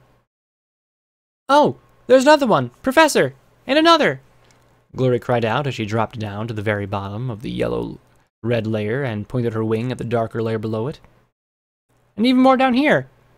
Only these look like bugs. And there's a fish, the gray filly said, putting her hoof at the rock face. The magic of Pegasus' eyesight, Goldenblood murmured, making the maroon colt glare. Yes, there are. It's uh, truly an amazing variety. I know that some books and films talk about ancient monsters like giant trolls and the like. But really, we know next to nothing about some of the creatures from long ago. What did they look like, for example? What did they hunt? How did they live?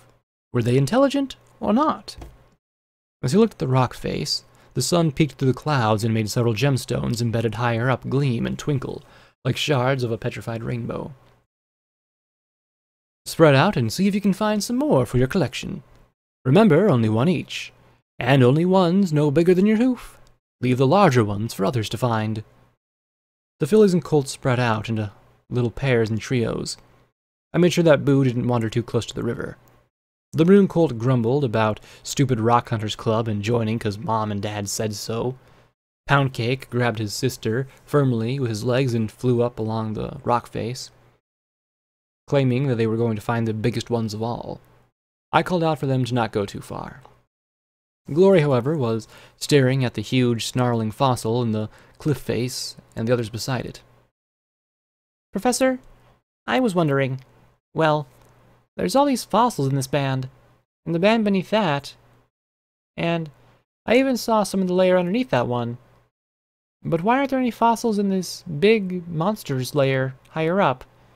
I mean, Did something kill all those creatures at once? A few that were listening in stopped picking at rocks and straightened. Golden Blood looked at her with a pleased smile. An excellent observation. That is quite a good question. The honest truth is that we really don't know. History fades and blurs the further one goes back. We are taught the uh, pageant of Hearthwarming Eve, but what of the countries that we came from? Where did they come from? Or the princesses? Or pony kind? Thus, when we get to things that happened eons ago, all we can do is make educated speculations. Why so many large creatures in these layers, and then such an abrupt stop? Something must have happened. He trod to the rock layer and peered at it closely. He hummed softly under his breath and paused.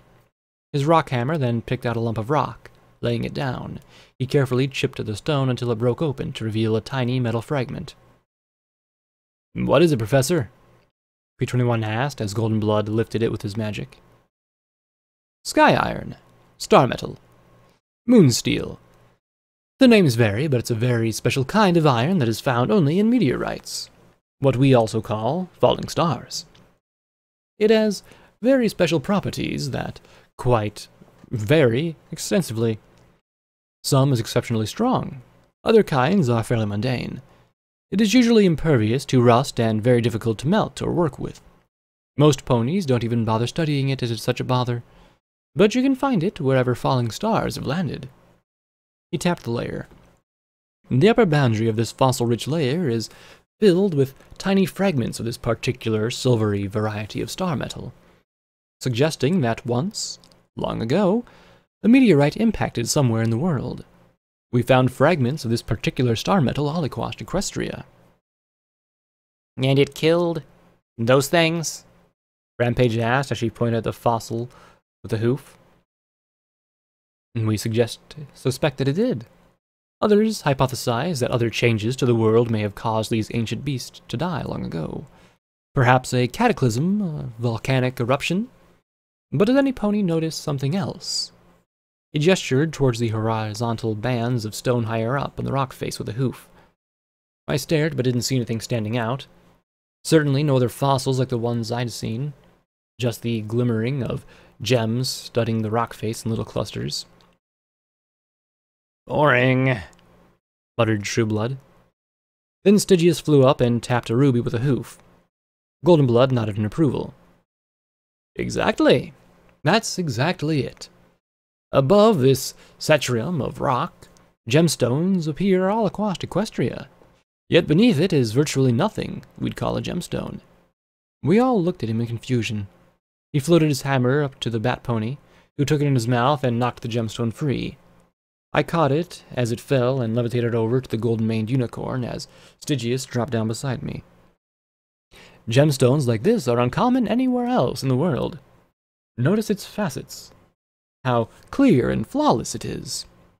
We see so many bright and sparkly gems like this all across Equestria, that they're mundane and common. Indeed, we cultivate, th cultivate them inside stones. However, if you were to go to another part of the world, he pulled an ugly reddish-brown stone embedded inside a rock from his saddlebags. This is a ruby. Um, I'm sorry, Professor, that can't be right. That's a ruby, I said as I pointed to the glimmering gemstone. Every pony nodded in agreement. Goldenblood chuckled. I assure you, this is a ruby. Same hardness, same crystals. Cut and polished, it would look the same. Yet it would have absolutely no inherent magical energy whatsoever. Also, any gemstones below this impact stratum would be equally mundane and unmagical. This is the conundrum. How is it that we go from ordinary dirty, uh, magical crystals before the events to countless gemstones afterwards? And why are these gems so abundant here? The scarier and scarier the further one gets from Equestria. The pale unicorn proud, uh, poorly hid his smug expression. And P21 shared a look with me in glory before he rolled his eyes and said with not so veiled sarcasm. Gee, Professor, do you have a theory? Rampage snorted and even Glory fought a smile. Goldenblood smirked at P21 and said with a touch of singed pride, Well, since you are so curious, I guess I could share mine with you. He looked up at the gems studding the cliff face. I suspect that when the meteorite struck, so many creatures died so suddenly that the release of all that life energy condensed into the gemstones that are abundant in our land. We see a similar phenomenon occur when potent magical beings, like ancient dragons, die. Is there going to be a test on this, Professor? Trueblood asked, rolling his eyes. I didn't think Rock Hunters Club had marks. Just because you've got rocks in your head doesn't mean that the rest of us aren't interested, right? Glory asked eagerly as she turned to the rest of us.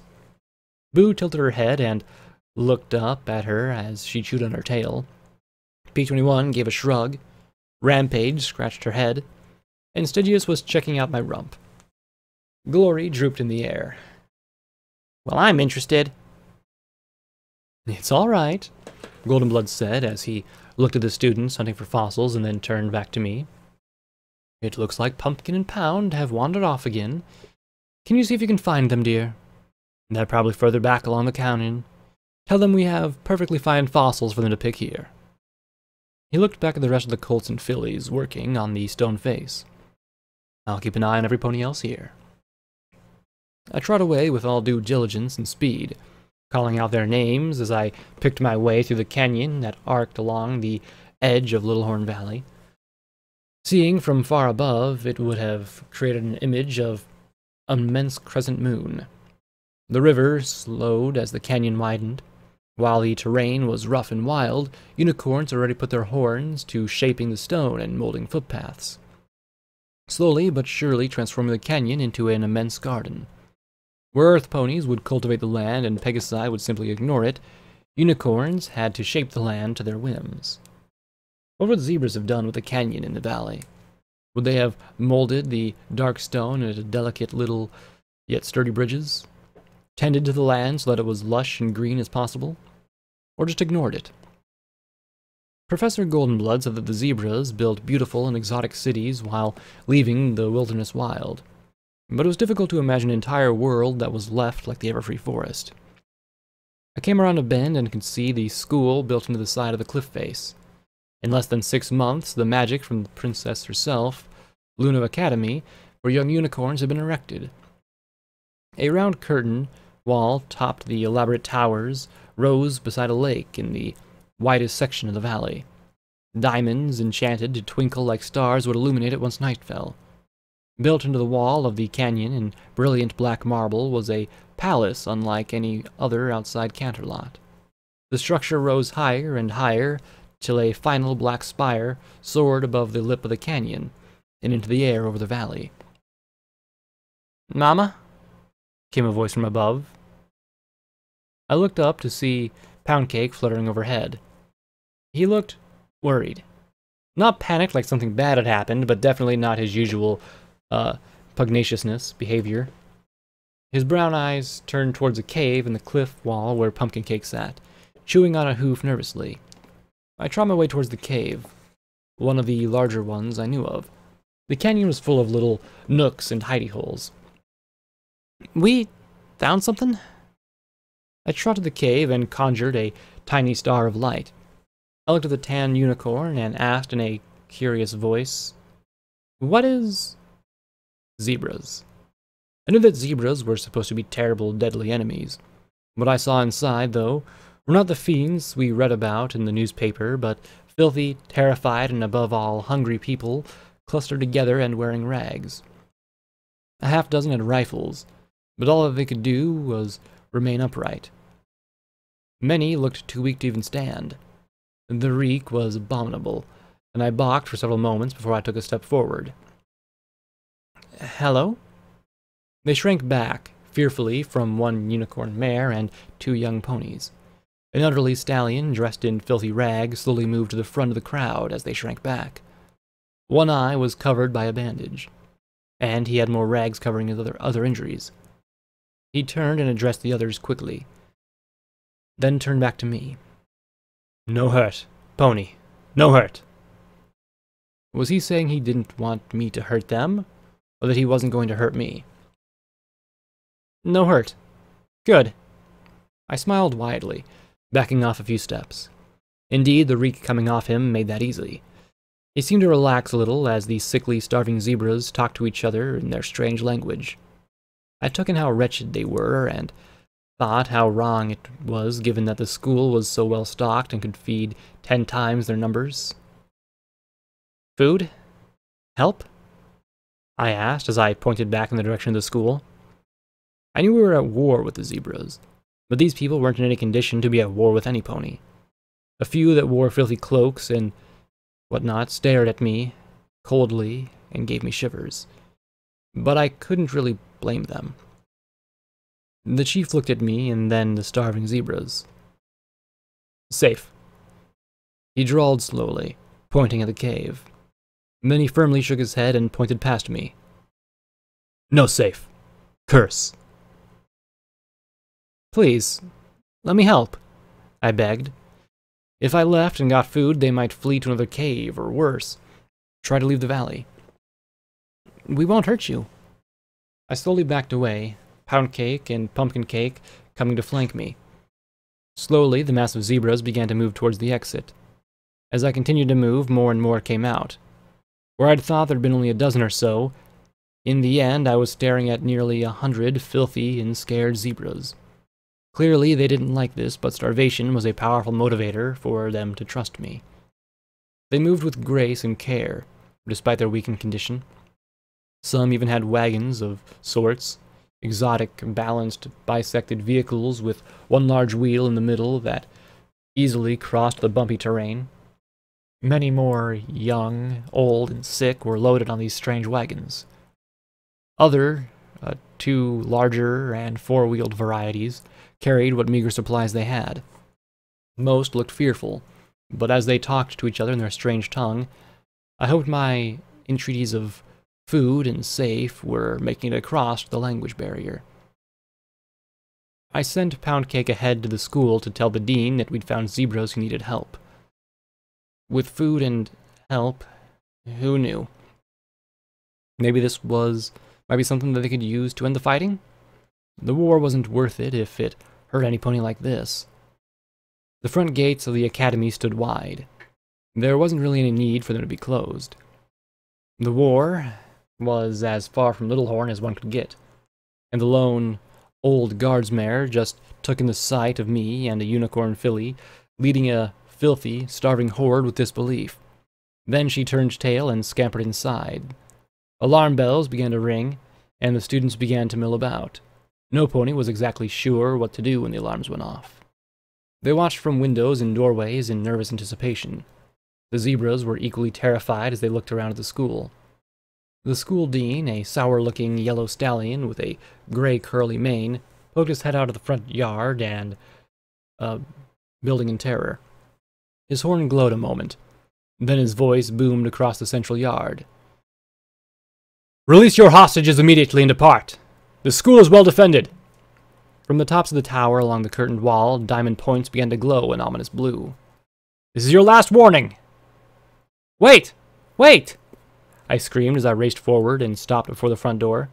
Pumpkin Cake stood beside me, and Pound Cake zoomed out of a window to stand beside her sister as well. They're not attacking us! They need help! I tried to tell them that, Poundcake shouted, waving at the Dean in frustration. He heard the word zebra and went stupid. Help? The dean gaped at me in shock. Are you? Did you lead them here? Are you out of your little pony minds? They're starving and sick. They can't hurt any pony. I said as I stood between the doors and clusters of wagons and zebras. They've got a gun! Some pony shrieked. Fire! Fire! No! Stop! We need to help them!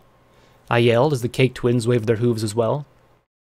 Please don't shoot, Pumpkin Cake begged. They won't hurt us, Pumpkin Cake yelled. Depart at once. This is your final warning. The Dean's panicked voice boomed over the yard as the zebras started to break apart.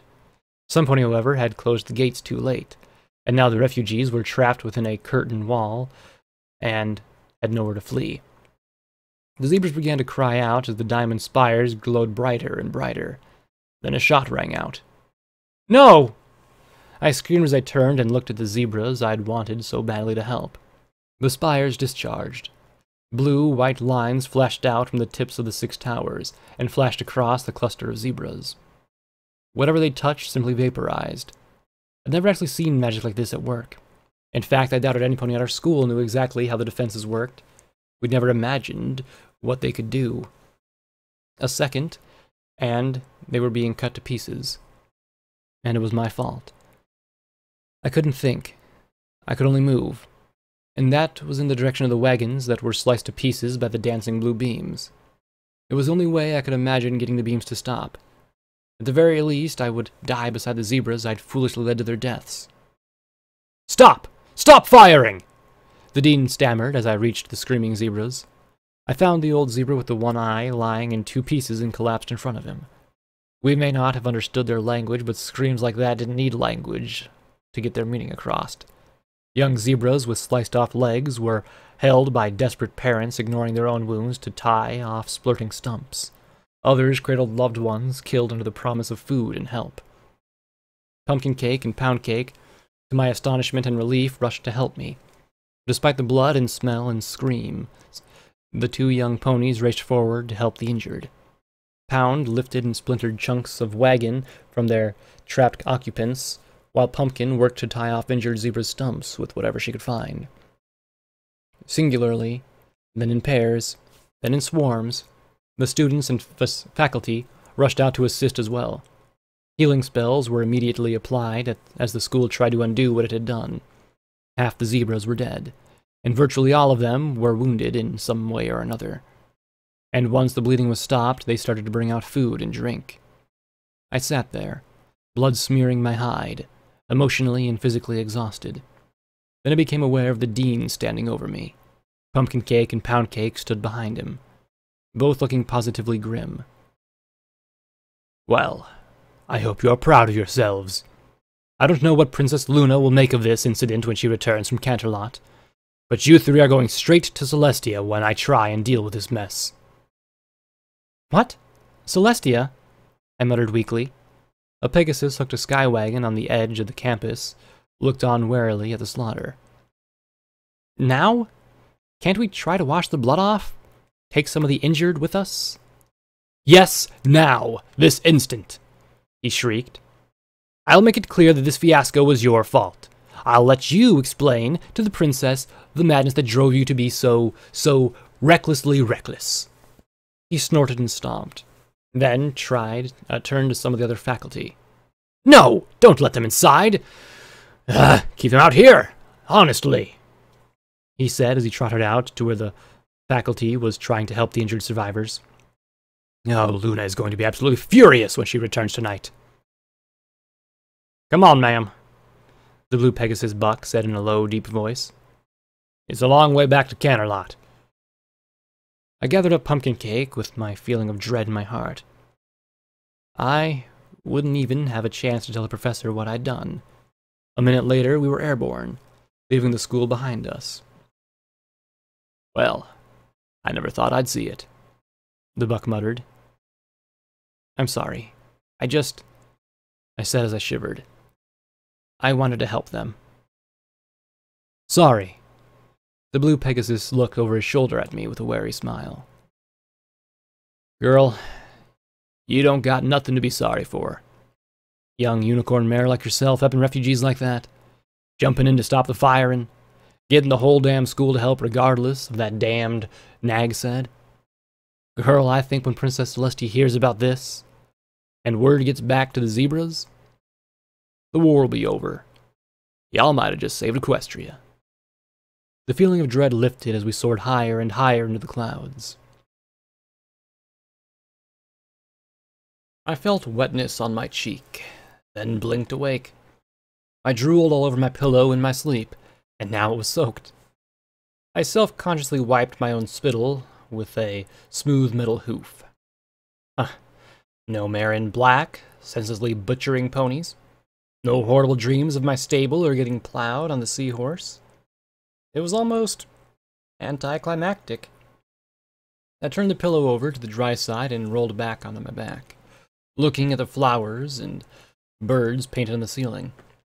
The details of the dream I had were slipping away. Something about an academy and some zebras and Goldenblood being a teacher there. My head was better. The rad roach in my skull was gone, and while I wasn't quite at a 100%, I was a lot closer to it than I had been in a long time. I rubbed my face carefully with my forelegs and then slowly sat up. I cautiously activated my EFS and looked around till I found a single blue bar. Among a sea of red bars on the other side of the door. Too much to hope for that the killer robots with nothing else to do would have gotten bored and left, I guess. I cancelled the EFS and sighed as I sat up on the couch. Now, what to do about him? On one hoof, he was handsome and fit. He hadn't tried to force himself on me, but he was keenly interested. On another, I had no idea who he really was or what he really wanted. I couldn't treat him as a stable 99 stallion and just rut him because I wanted to. Besides, even if he had been relatively gallant since we met, he might still have an ulterior motive. On another, it would be nice to get a little play. It'd been so long since Ten Pony and since my last decent buck, U18 five months ago, that a pony ride sounded nice. But still, on another, on the rear hoof, I really wasn't sure if I should wait till I was with Glory or not. Though as fun and wonderful and dear as she was, she wasn't a stallion. There just wasn't any getting around that. And on the metaphorical hoof, there was a part of me screaming to kill him before he nailed me to the floor and fucked my orifices in alphabetical order. Ah, I need less hooves, I groaned, shaking my head. A door opened and I looked over to see Stygius, armor off. What is it about the physique of flyers? Trotting out of the library, a folded paper under his wing. He sat beside the couch and held up his slate. Sleep well had been written on it. You know what's crazy? I actually did, I said as I rolled forward onto my hooves, standing upright and stretching my legs. Okay, technically there weren't any muscles to stretch in them, but that motion was refreshingly familiar. It's pretty sad when a decent nap stands out too much. How long was I out? He stomped a hoof five times. I sure hoped that wasn't in minutes. And what have you been doing? He folded his forelegs beside his head and mimicked napping. Then he reached under his wing and pulled out the stack of papers. It took it from my magic and unfolded them, reading what he'd written. You asked where bat ponies came from. We don't know. We have stories that once we were Pegasus ponies who lived in the clouds. Then terrible storm, monster, came and wrecked home. We hid in deep cave and were trapped. For a long time we live eating magic mushrooms and cave things. We become bat ponies, or... Here I broke off for a moment and just stared at the paper. What alphabet was that? And live and grow in caves. When we finally escape, bright sun hurt eyes, and other pony think we are monsters. But moon and stars are bright and make us happy. We met Luna long ago, and she lovely, and we lonely, and so we say we help her. Then she become Nightmare, Nightmare Moon, but she's nicer than day ponies, so we try and help. She lose, many bat ponies die. With no Nightmare Moon, many, many bat ponies were killed, and we hid back in caves. Luna came back from the moon, so we sent our strongest to be her guard but kept families hidden away. Canterlot went boom, Luna died, and we go back to cave. Sometimes think mistake ever leave cave in first place. Other story, Nightmare Moon and Luna made us into bat ponies with magic, turned Pegasus pony into bat pony. Not know what she did with unicorns and earth ponies. Maybe only need bat ponies. Don't know. Now we live in caves and fly out at night. Hard to see pretty mare who isn't family in caves. Very hard. So hard. Sister think I'm dumb for following you because you're pretty. But you are, with your shiny legs and tight flank and striped mane, and your eyes glow, and your. Okay, now he was getting a little explicit. I didn't see much else beneath that point, beyond him trying to tell me how beautiful I was. He sketched a couple of pictures of caves, some bat ponies, and one of me. At least I thought it was of me. I really doubted my horn had magic sparkles dancing around it, or that I had a full moon aura around me. I couldn't help but smile. Back in 99, I'd been a lot like him, always chasing after Midnight or some other mare that I thought I could have some fun with. I'd never been the one pursued by another. And I always assumed I was simply too much of a screw up to be worth the trouble. Plus, there was Mom, head of security, and all the awkwardness that generated. How bizarre that the first buck I was ever attracted to was a strange bat pony, but honestly, given all the things that had happened to me since getting out of 99, I supposed I should have been grateful he wasn't a cyber ghoul bat pony with a mysterious agenda. You're sweet, I said, and actually giggled as he seemed to float with his ear to ear grin. I flushed a little. But you know, if we did it, it would only be a thing. I have a very special sun pony, and I don't think I get two. He looked a bit confused. I didn't see why. It wasn't like having sex with him would make her any less my special sun pony. I needed glory in my life. Without her, I was so empty inside it hurt. But it wasn't like she'd be the only source of orgasms. It wasn't the I wasn't the only security mare in 99 that polished the baton when their mare friend was unavailable. Not that I'd actually had a mare friend in 99. You also know what happened to me, I murmured as I looked out the window towards the distant river to the west. I. I really don't want to hurt you, Stygius. I mean. You're nice to me, and I have to admit, you've been on my mind since we met.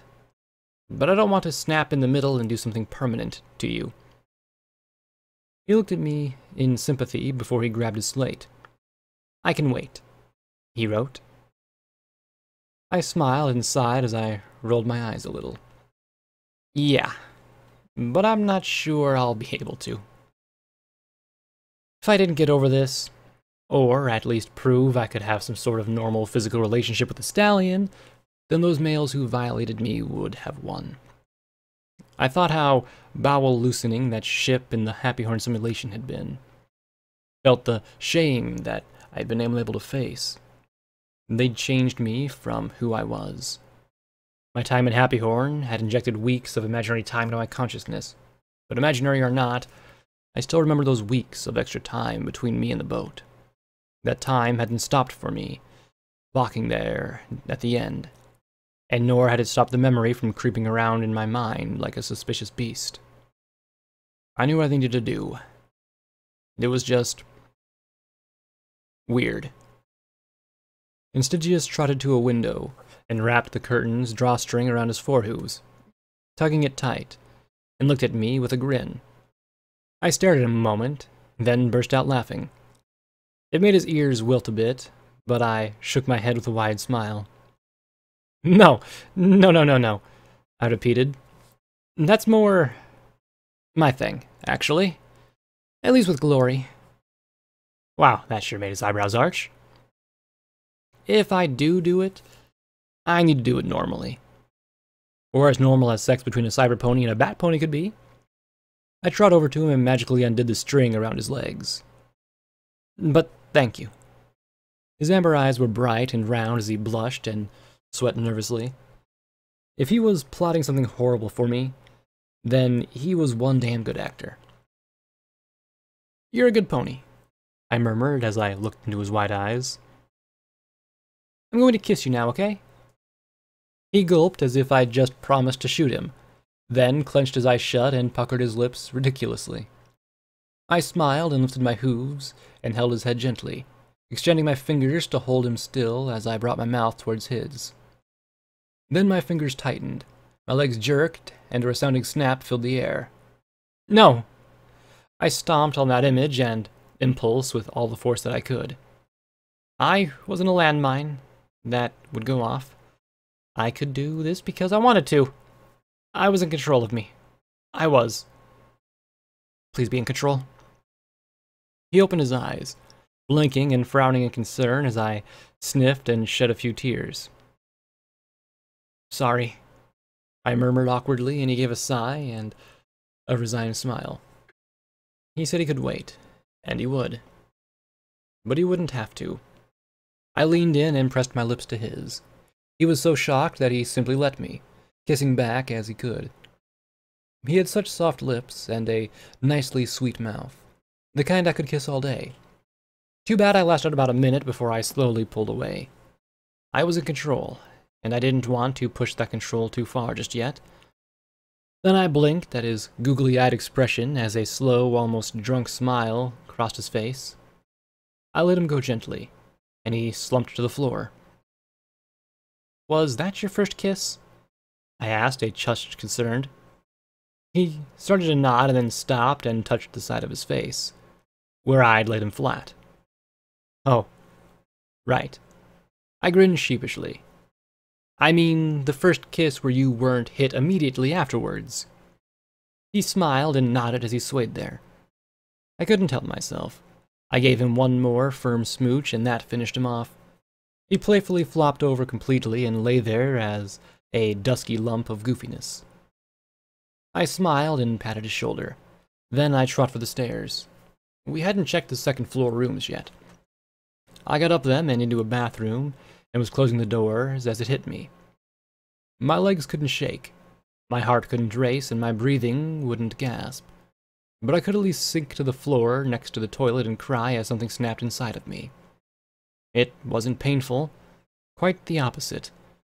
I pressed my face into a fuzzy pink floor mat as that hideous, suspicious beast inside me roared in pain from the wound inflicted by a simple kiss. My tears were a relief. I'd kissed him and not killed him. He liked it. Liked me. For the first time in a very long time, I felt like Blackjack the Mayor. Maybe a little wiser, but still Blackjack. Not Blackjack the Cyber Pony, nor Security the Mad Mayor of Hoofington. Just Blackjack.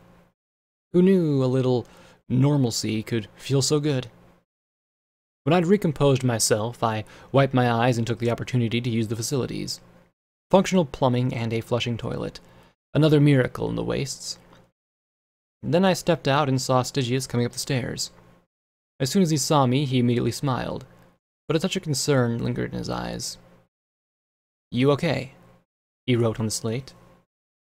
Yeah, just not used to it, I said as I stood and looked at the other three doors up here. If I was lucky, I'd find a flicker or something that would help me refocus my mind. I opened the first, looking at a bedroom. The rooms downstairs, like this one, everything was neat and tidy, and gave no impression at all that any pony actually used it. One wall was covered by four tall transparent display cases, each one with a dozen different rocks inside individual glass compartments. There was a little tag beside each of the samples. Gold Nugget, uh, Flankerage River, Purple Fluorite, Lost Pegasus, Amber, Stalliongrad, Silver Ore, Prance. There were more unusual names that I guessed were from faraway lands. The crystals weren't like the standard magic jewels I was familiar with. In fact, while there was a selection of magical gems, most of them were strange and exotic looking. Some were delicate needle-like crystal spires and strange purple cubes that peppered the surfaces of stones. Others were simple rocks, like granite and marble, that I was more familiar with. One section had a dozen different types of ore all arranged alphabetically, Fossil, Crescent Moon Canyon. I slowly opened the case and levitated the horn-sized stone out, then turned it over in front of me. The small spiral shell resembled an extremely old tan cookie. I sighed and put it in my saddlebag.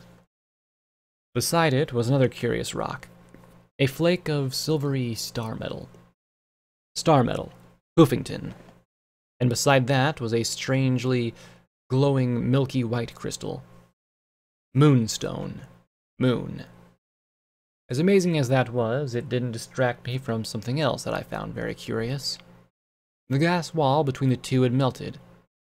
I opened the door to the case and pried loose the silvery flake and the pale stone. I'd seen these two together before, only they'd been separated by a layer of flux rather than simple glass. I looked over at Stygius.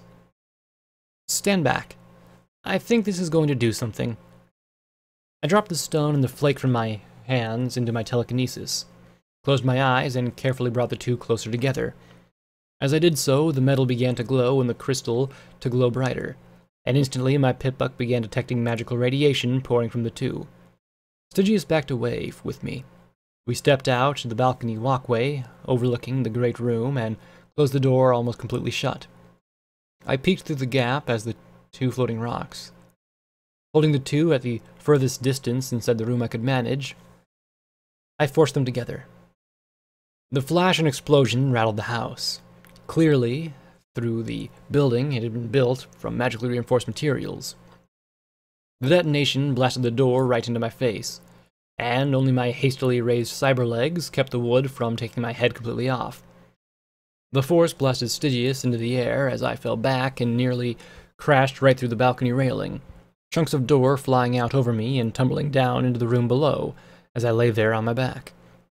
I had no idea what my rad meter could even click that fast, though the rate was decreasing quickly. Okay, that was a little toastier than usual. When I looked back towards the empty door frame, I saw cracks, spiderwebbing throughout the walls around it. Ow. That was really stupid. I muttered as I sat up slowly, rubbing my head. I pulled out a patch of RadAway for each of us, smirking around mine at Stygius's disgusted expression as he drank his, then stepped back inside looking at the shattered cases and the rocks strewn across the room. The bed was smoking, and the floor was blackened below where I'd squeezed them together. Embedded in one wall was the moonstone. Embedded in the opposite was the star metal, giving off smoke. I trot towards the flake's impact dent. I looked at the smoking bit of metal. No, not just smoking. It was melting away before my eyes shrinking as it made a long, low screaming noise. Glowing white smoke curled up from it, and as it slowly vanished, and that smoke condensed into tiny white motes of light. They were exactly like the motes in the zebra ruins. I saw them disappearing one by one, and lunged forward to touch one with my horn. The unicorn mare I occupied walked carefully up towards the dark cottage on the hillside overlooking the pouring river and knocked her hoof on the front door. Princess Luna? She called out in worry. Then she knocked again, then finally used her magic to open the door. The interior was pitch black. Princess Luna? She called in a weaker voice. The light of her horn reflected off countless polished stars set into the walls and ceiling. A strange, ominous note rose up from the basement, and she hesitated a moment at the door. P Princess? The basement door was blown open by a dark wind that scooped the mare up and carried her down the steps into the earth, dumping her into a heap behind the glorious dark princess. A work table was set up in the middle of the subterranean room. Strange and exotic zebra statues loomed on like silent mentors examining their students' work. Hammers and tongs lay tossed aside next to the cold forge. She shaped the metal with her magic alone. Yes! she boomed as the silvery steel twisted into the air before her. The force of her voice nearly knocked my host over. Princess, thy, thy sister, she sent us to find thee. She hath been forced to raise both sun and moon for three days and nights. The princess flinched at the word sister. The hum grew stronger, and the shadows cast by the pale light of her horn moved unnaturally, as though they were peering at us. So, it taketh her three days for to seek me. And she didn't come herself. Surprise, surprise, the princess said, her boom dying to a normal voice as her horn glowed, that oppressive hum filling the air. princess? Art thou well? The unicorn asked in fear.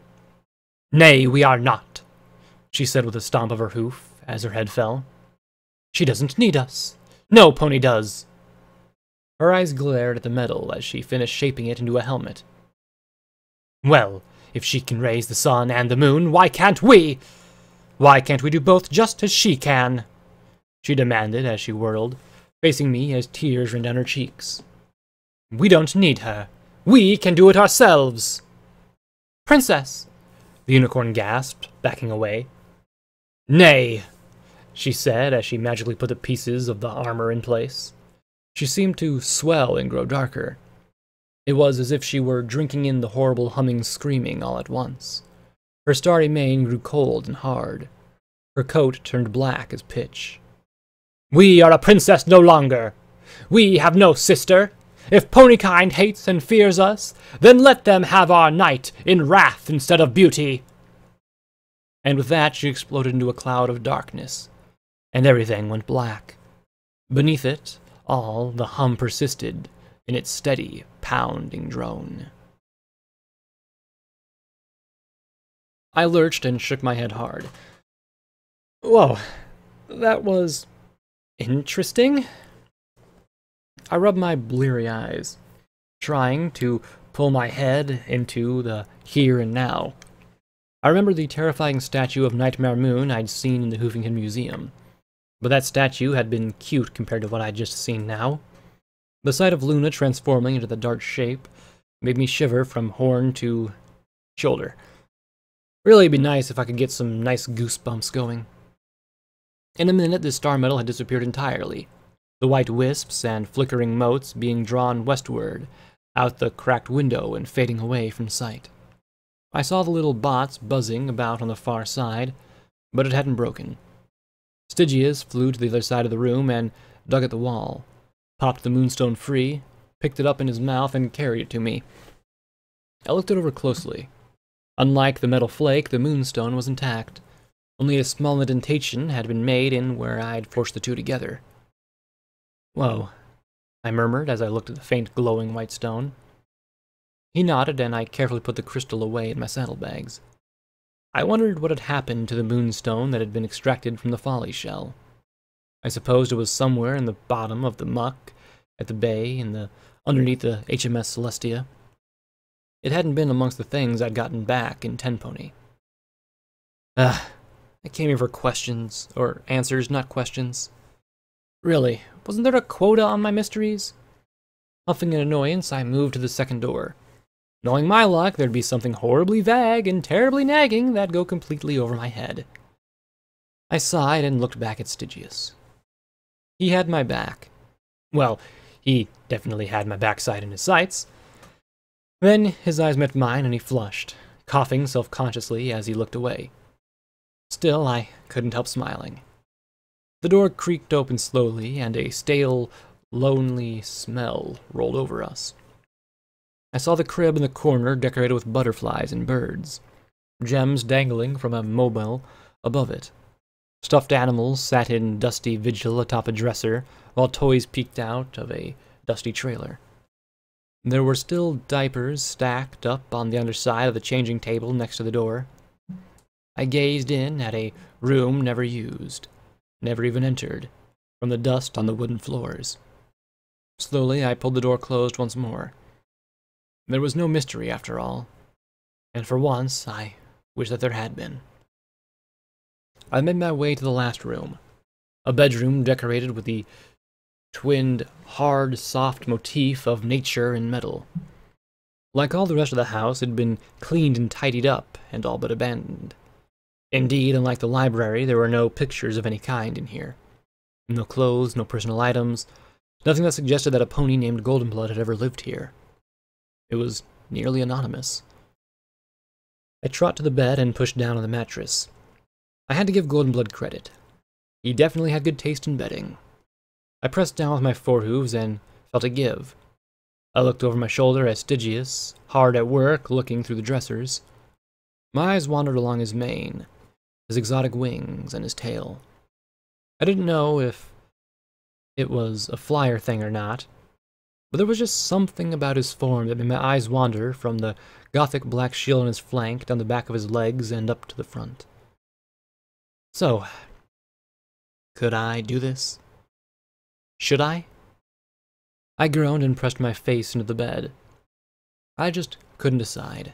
There were plenty of reasons to and plenty of reasons not to. I didn't want to be defined by what those bucks had done to me on that boat. I didn't want to be defined by that. Didn't want to be the victim. I also didn't want to be set off by any buck that brushes my ass. If I was going to thump a guy like Candlewick, I wanted it to be my choice, not my reaction. But I also was scared to death that if I tried anything, I'd kill another pony who didn't deserve to die at my hooves. He buried his head into one of Fluttershy's dresses. Or, at least, I assumed it was hers from the butterfly carving on the wood. He smiled, and I smiled as I watched him with my shoulder. And then I slid my saddlebags to the floor and a moment later set my combat armor to join them. Ah, please, Luna and Celestia. Please, let this go right. Hey, I croaked, and then coughed and smiled again. Hey, Stygius? He pulled his head out of the dresser, a glowing golden memory orb in his mouth. He looked at me, stretched half on the bed, his eyes drawn to my posterior. Then I gave my tail a little swish and watched as his eyes popped round. I swished a bit more, and the memory orb fell from his mouth and rolled slowly along the floor. I picked it up and floated it down under the nightstand. He slowly approached, looking torn between eagerness and concern. He lowered his mouth to his chalkboard and wrote briefly, not taking his eyes off my swaying tail. You sure? Yeah, I am. If you're still interested? I asked, half hoping he'd change his mind. But he swallowed and nodded. I closed my eyes and bowed my head. You know what happened to me, though. So, if I tell you to stop, please stop? Okay? For both our sakes. He approached till he was right behind me, then wrote something else as he blushed profusely. Virgin, it read, and he smiled sheepishly. Well, you can start by touching me, I murmured softly as I closed my eyes. Don't kill him. Don't kill him. I want this. I really do. Then I felt his lips on my cutie mark, his muzzle nuzzling my hide. And never ever have I been more thankful for having skin. I felt my body twitch in response, and I smiled as that reactive fear remained at bay. I felt his breath on my hide, his hooves touching me in vaguely reassuring ways. He was taking his time, and I didn't rush him. I didn't need to. Then he moved back further and dared to move beneath my tail. It was an interesting touch, nothing at all like Glory's. She was soft and knew what to stroke and what to avoid. His was firmer and heavier than hers his lips more hesitant and his mouth stronger. My mind reduced to two thoughts. Oh yes, which I expressed in a delighted groan, and don't kill him. I was in control, and with every minute I felt better and better as he helped me feel like a mare, like a pony. Damn me if I didn't understand Deus now. When you were half machine, you needed something. Anything to remind you that you were flesh and blood. Very flesh, very blood. And then he entered me. It was all I could do to keep myself together. My legs could remember the feeling of the nails, my nethers and throat, the burning pain and humiliation. This wasn't that. He wasn't them. I was safe. I was in control of myself and while every second a part of me wanted to scream to get him out before he started hurting me, to rip and tear and kill, I suppressed it. I refused to allow it to set me off as he pressed me again and moved inside. He huffed as he increased speed and I tensed. He slowed and I relaxed. Before too long, he made a series of squeaks and I felt hot wetness inside me. Of course, I was nowhere near climaxing myself, but that wasn't the point. This was about me being able to do this and put what I'd done, what had been done to me, behind me. And as he squirted, I had one more fierce impulse to rip the invading member off. Then his lips met my ears and neck, and like that the impulse was gone. I'd been plowed badly, and none of them had showed the slightest affection. I finally collapsed on the bed as he withdrew, an oddly depressing sensation. I crawled the rest of the way onto it, and he moved beside me, his brows furrowing and his eyes concerned. He reached for the chalkboard and wrote, Good? Holding it between his hooves as he looked at me. Poor Buck deserved better than me hugging him fiercely and sobbing as that murderous impulse broke apart and flowed out of my eyes. Really good, Stiggy. Really, really, really good. I blubbered as I curled up against him and let him hold me and curl his wings about me. He might have looked completely confused and worried, but right now he knew exactly what I needed. When I finally pulled myself together and wiped my nose and eyes, he kissed my horn and then started to pull away. I reached out with my magic for a very specific part of him and froze him in his tracks. Where do you think you're going? I asked with a tiny smile. His eyes grew wide again as I gave a careful tug and leaned forward to kiss him again. We've only just started. I liked stallions. I liked mares too, but right now, curled up with Stygius on the bed, I had to admit that I liked the boys every bit as much as I liked the girls. I pressed my nose to his chest, taking in his musky, sweaty scent as I felt his heart beating. He'd lasted three rounds and now snoozed next to me. I didn't want to pull away, and for now my itch had been scratched. It actually worked up a sweat of my own. Even with the metal and synthetic organs, I'd still made quite a workout of it. I probably could have kept going for hours, but why ruin a good time by forcing him to draw it out? I'm going to need another bath, I thought, feeling things drying on my hide. Oh well, showers later. Stygius was smiling in his daze. He'd been good, not spectacular, but for his first time, he'd definitely put up a good show. I'd even popped once our on our last round. To my own delight and surprise. I doubted he had time for a fourth. We couldn't stay locked up here forever, rutting. Okay, for the wasteland that actually sounded damn inviting, but still, I felt good. It was something I hadn't felt in a long time. Good. Not drunk, not exhausted, not crazy. Okay, I felt guilty. I didn't deserve to feel this way. But aside from that lingering urge to kick myself on general principle for what I'd done at Yellow River, and at Yellow River, and every other messed up thing I've done, I felt damn nice to be held like this. The next time I was with Glory, I would do all I could to make her feel this way. So, move and wake him, and be tempted into a fourth round, or just rest here. My eyes went to the memory orb on the nightstand beside us. Hmm, well, it should pass the time nicely. I floated it over and touched my horn to it with a lazy smile. My horn flared and flickered as I started to make the connection. Come on, get in there.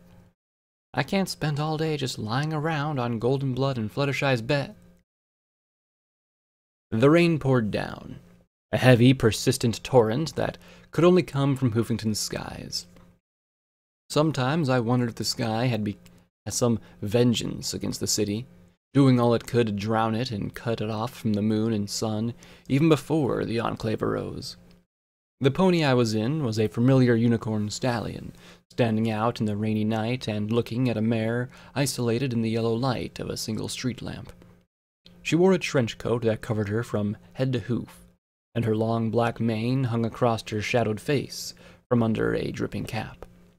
All around us were dark trees, and in the distance I could see the rain of the towering city lights the core. Something snapped beneath my hoof, and she squealed as she spun around. Who's there? She whispered timidly. There was no answer in the pouring rain. She trembled, hanging her head once more as my host slowly moved closer. The steps were slow and tired. She shrank back a little bit, then cleared her throat. He- hello? Um. Um. Umgabe Bawanka t t Trito. May peace favor us all. The stallion murmured softly, barely audible over the pouring rain. You have the package? Yes, she said as she turned away and dug a heavy looking parcel wrapped in tape from her saddlebags. You have no idea how hard it I've been working to get this for you, she said as she hugged it to her hooves like it was a precious baby. The stallion in the rain didn't reply. Uh, uh, here, t- take it. It's all our notes. Everything you need. Please, I've been working so very hard. The male stayed silent. He simply stood there outside the patch of light. Then he rasped in that unmistakable voice. You know. First, you tried contacting a zebra envoy directly. She met a tragic end with a grenade slipping onto her saddlebags. Then you used Nurse Bloomforth to try and get into a POW who was being sent back to a zebra lands in a prisoner exchange. Of course, Bloomsforth was an MOM agent, but fortunately, she met a bad end with a memory modification spell before she could report it to Pinkie and Luna. You made several subtle overtures to members of the Zebra government, all of which were rebuffed. So then you arranged a meeting with a member of a Zebra sympathizer terrorist cell. At this moment, they're being raided. Your contact will be killed in the firefight. There's no way to extract memories from a dead pony. Her hat glowed gold and lifted off her head. At once, the pouring rain began to wash away the dye out of her mane. Hello, Fluttershy. Goldenblood stepped into the pool of yellow light. The rain poured down over him, matting his mane to his scarred, pale hide. No, no, no, no. You can't. She whispered as she clenched the parcel to her chest, turned it away as if to shield it from him. Please. He didn't say anything at first. He simply gazed at her with eyes that felt tired. Why are you doing this, Fluttershy? I would have thought that after Bloomsforth was exposed, you'd have given up. Fluttershy clenched her eyes shut and trembled, sniffling. I have to. I have to do something. Luna won't use the mega spells to heal ponies. Twilight wants to turn them into weapons. Something Twilight would never do nor authorize. Goldenblood murmured. You know this. Twilight might think it's wrong, but what would stop somebody else from doing it? Fluttershy asked.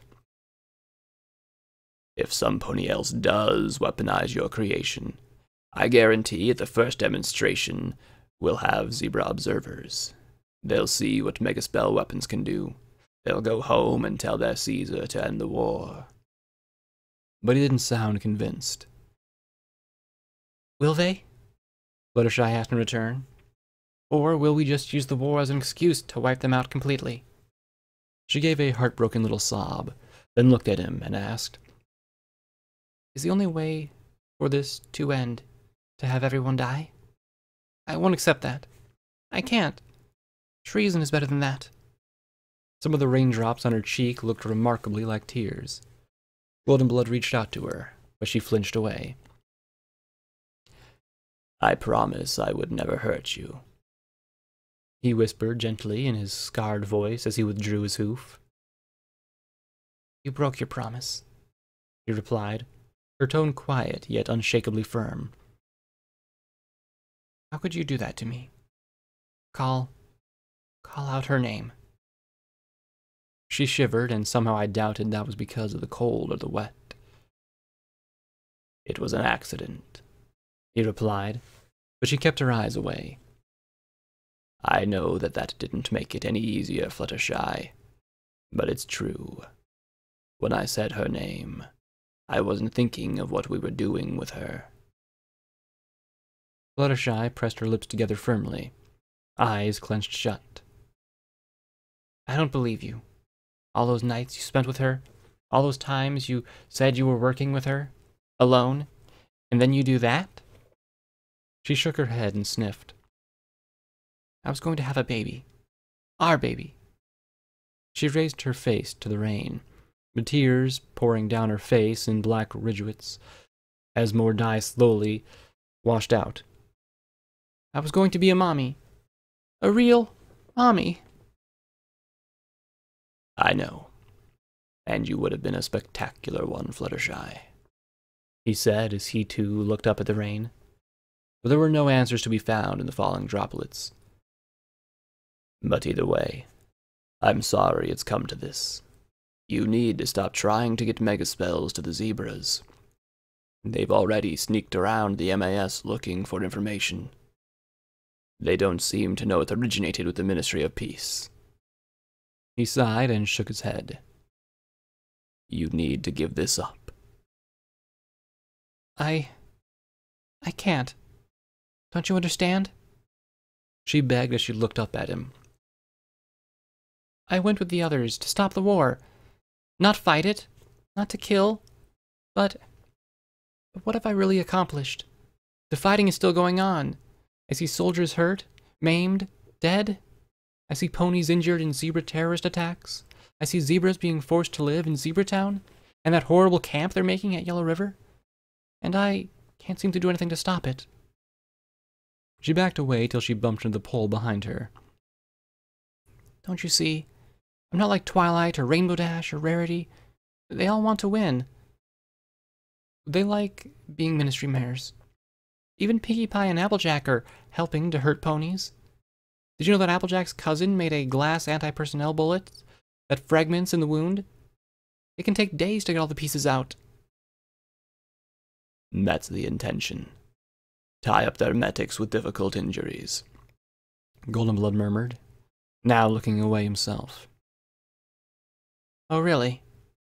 Ned drew his eyes back to her, and even I was taken aback by her scorn in her gaze. Do you know the glass bullets actually do? The infections? She asked as she stared at him. The pieces are almost impossible to detect. They can remain lodged in organs and cause crippling pain. They migrate, tearing holes in tissue as they move. The zebras won't waste time treating injuries like those. They just euthanize their injured and keep fighting all the harder. Fluttershy, we are at war, he said lamely. So that makes it okay, Fluttershy retorted sharply, starting to pace. We can use glass bullets. We're at war. We can use airdropped mines that'll blow up any foal that trots along, zebra or pony. We're at war. We can kill, and murder, and maim, and do horrible, horrible things. Cause we're at war. She sat and started to sob. I hate it. I hate everything about it. And I have to stop it. Even, even if that means giving megaspells to the zebras. If Luna's not good enough to use megaspells to heal battlefields, then maybe the zebras will be better than us. She finally dropped back to a near whisper.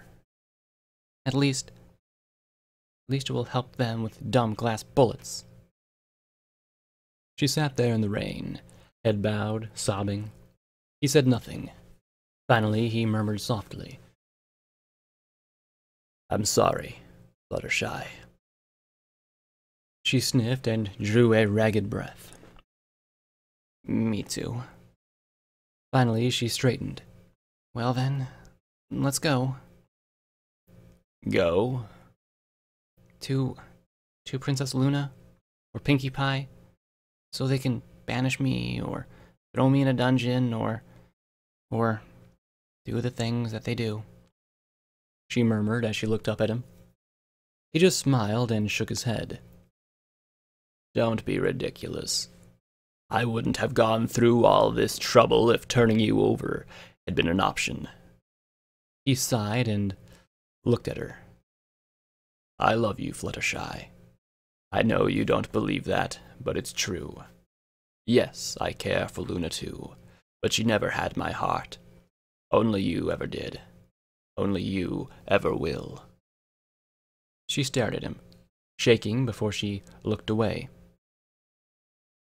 I'm sorry. I. I don't. Sorry. I promised. He rasped softly as he turned aside with a small, sad smile.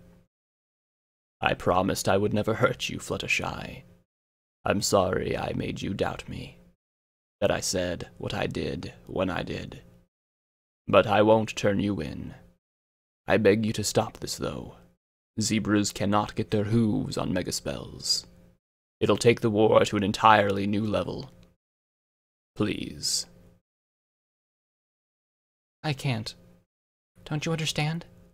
She said, de desperation creeping into her voice. If I don't do something, I think I'll go crazy. I have to stop it. Perhaps. What if I did something? Made some way for you to help prevent ponies from being hurt? He asked, then sighed. You could also take it as a more sincere apology. Goldenblood, you don't have to do that. I have to do something, Fluttershy. If you keep this up, you're going to go to prison. I couldn't bear to see you in such a place. Then help me. Please. If the zebras get their hooves on mega spells, the war will have to stop. If the zebras and ponies both know the battles are pointless, they'll have to negotiate, right? She said with a wide, hopeful, and horribly naive smile. I can't just. just sit on this. I needed something to do. She smiled slightly. You can understand. Yes, I do. He stood perfectly still for a few seconds as the rain poured down upon both of them. Finally, he said, in a voice barely louder than the rain, You should write to Professor Silverstripe. Her father is Dr. Propos at the Zebra Academy of Science. I know she has some means of contacting him clandestinely. She's one of a few back channels I can use to keep tabs on what's going on in zebra politics. And he's an outspoken critic of the war. Maybe you two can collaborate on treating the casualties try and open up some alternative or avenue for peace talks. He looked back at her, his gaze once again firm. But please, not megaspells. If you keep trying to pass that to the enemy, sooner or later, Pinkie Pie is going to catch you. Or Luna will. I cannot protect you then. I Thank you, she murmured as she put the parcel back into her bags. He nodded in acknowledgement, and she said softly, Goldenblood, do you ever dream that things were different? All the time. But then again, if they were different, would we ever have had that time together we did? He turned away. Goldenblood? Fluttershy murmured as he paused looking back over at his shoulder. Please, get out of the rain. I felt his lips curl into a smile, and with a single nod he trotted away. I jerked out of the memory orb and looked at the drowsy bat pony beside me as my brain processed what I'd just experienced. Fluttershy had tried to give megaspells to the zebras to end the war. Had she succeeded and been responsible for the megaspells that burned Equestria? Or had the zebras developed those themselves because she'd failed to give them an alternative? I suppose that either way, it really sucked. And they'd broken up because he'd called out some other mare's name in bed? It seemed silly. Who cared about who we unloaded with so long as at the end of the day he still loved her. Back in 99, I could probably name 20 mares I'd been with off hoof. As long as you were off shift and every pony was happy with the arrangement, why not? Sure, some mares grew close, though if your fondness for each other impacted your stable duties, there'd be hell to pay. But I couldn't think of any mare that would want exclusive rights to another mare. The closest I could think of was P21 with the overmare, and that was just wrong. Selfish. But then it wasn't just that he'd been seeing somebody else. He'd call out another mare's name when with Fluttershy. He had to have been thinking of her, whatever he claimed. Sure, if Glory had done that to me, I would have laughed it off. If it'd been the other way around, I'd have a lot of explaining and apologizing to do. But it wouldn't have been the end of the world. If Fluttershy seemed like an oversensitive sort, it would take a lot of care for her to be intimate with any pony. And I suppose that any betrayal or injury from him would be more than she could bear. And she'd been pregnant. I reached down to my own stomach, running my mechanical fingers along my hide. What would it be like to have my own filly or colt? In 99, we always knew we'd have one eventually. A few lucky mares might get the opportunity for a second if another mare died before she could have a daughter or fertility problems. I always joked that me reproducing would be a crime against Equestria. Lying here, right now, I wasn't laughing. I was thinking. Did I want to have a child? Here, in the wasteland? In Hoofington? Now? Okay, maybe not here nor now. Maybe if I could scrape together a few thousand caps and set myself up in Ten Pony. Have a filly or colt in nice, safe medical conditions. Give them a few years to teach them how to shoot and take care of themselves. Have a family. A real family. Something more than life in 99. I did want that. Given everything that has happened to me, despite it all, I wanted a kid. Kids. Plural. When I was done with EC 1101, I could go back to Spike and do everything to get gardens working. Clean up Equestria. Have a kid. Or two. Or three. it was all just a fantasy, of course. I wasn't going to just run to triage and have my implant removed. I'd also have to pick the right stud, talk to Glory. Maybe she'd have one as well. I mean, she might not like stallions, but it wasn't like she'd die if she was with the one right once. Heck, I knew medical ponies who could inseminate mares if needed, without them ever having to see a stallion during the process. Happened occasionally in 99. Oh, and I'd have to see. Well, Triage had said that my reproductive parts had managed to stay functional, but that was before the Celestia and my cyberization. The professor hadn't mentioned anything about them, but there were a lot of things she hadn't mentioned. I suppose that, even if something were wrong there, Glory could have the foals, or we could adopt. The idea didn't feel as appealing, but it'd work. Something to think about. Talk about. I might not be the smartest pony, but this whole subject was definitely something I didn't want to rush. It'd be more than my own head if I screwed up. I rolled onto my side and snuggled against Stygius. He was warm, firm, and didn't mind metal legs. I knew I'd be guilting about feeling this way sooner or later, but for now, nuzzling his neck, I really couldn't help but smile. Glory would like him. Not like-like, of course, but he had a gallant idiot streak, and I bet she could really relate to it. Kissing along his chin and cheek, I moved my hoof downwards. A few seconds later, his eyes popped wide as his cheeks went red. I gave his nose a little lick as he gave a meek chirp. Round four. Okay. Okay. Enough. There was getting over a bad plowing. Then there was having fun. And then there was just wallowing in it. When I saw Glory next, I was going to make her hooves curl. As I finally slipped off the bed, I was sore and tingly in all the right places. Stygius, he'd need a little more time to recover, but from the grin on his face, I was pretty sure he'd do fine. Stallions are awesome. Of course, we both needed a shower. We were positively ripe. I trot into the bathroom with a smile on my face. Maybe I wasn't completely over what happened to me. There was still that muttering defense mechanism in the back of my head. But I didn't think that I'd try to kill a male just for making the wrong comment or brushing my rear end. Still, I did a little dance on the balcony.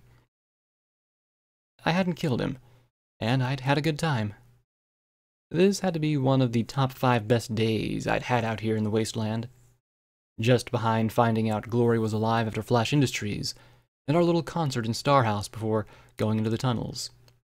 Of course, I knew that something horrible would probably happen soon after to erase it. My life seemed to inexplicably fall into that pattern. But I'd enjoy that feeling as long as I could. After a nice, hot shower. hot water. Any day with hot water pouring down on me was a good one.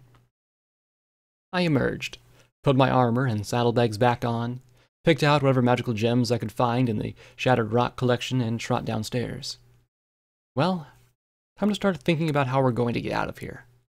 I alternated between bites of cram, chunks of gemstones, and pieces of metal from the workshop as I sat on the desk in the library, and looked out at the window at the bots milling about outside. We might be able to race past them and out of the shield. But that'd be iffy. I had visions of one of us ending up as a shower of ash. I tried to peek around the main pinky box, but the angle from the library window wasn't very good. I'd need to get higher. Fortunately, I had freaky zebra balancing legs that made me stand upright on the desk.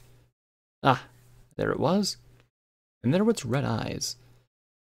Still not happy to wait. What was that? In the upper corner of a library was a tiny black camera sensor. Why had he needed so many?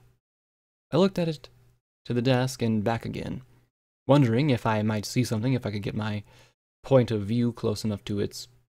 Well, I not only had freaky zebra standing powers, but equally freaky cyper thumb powers.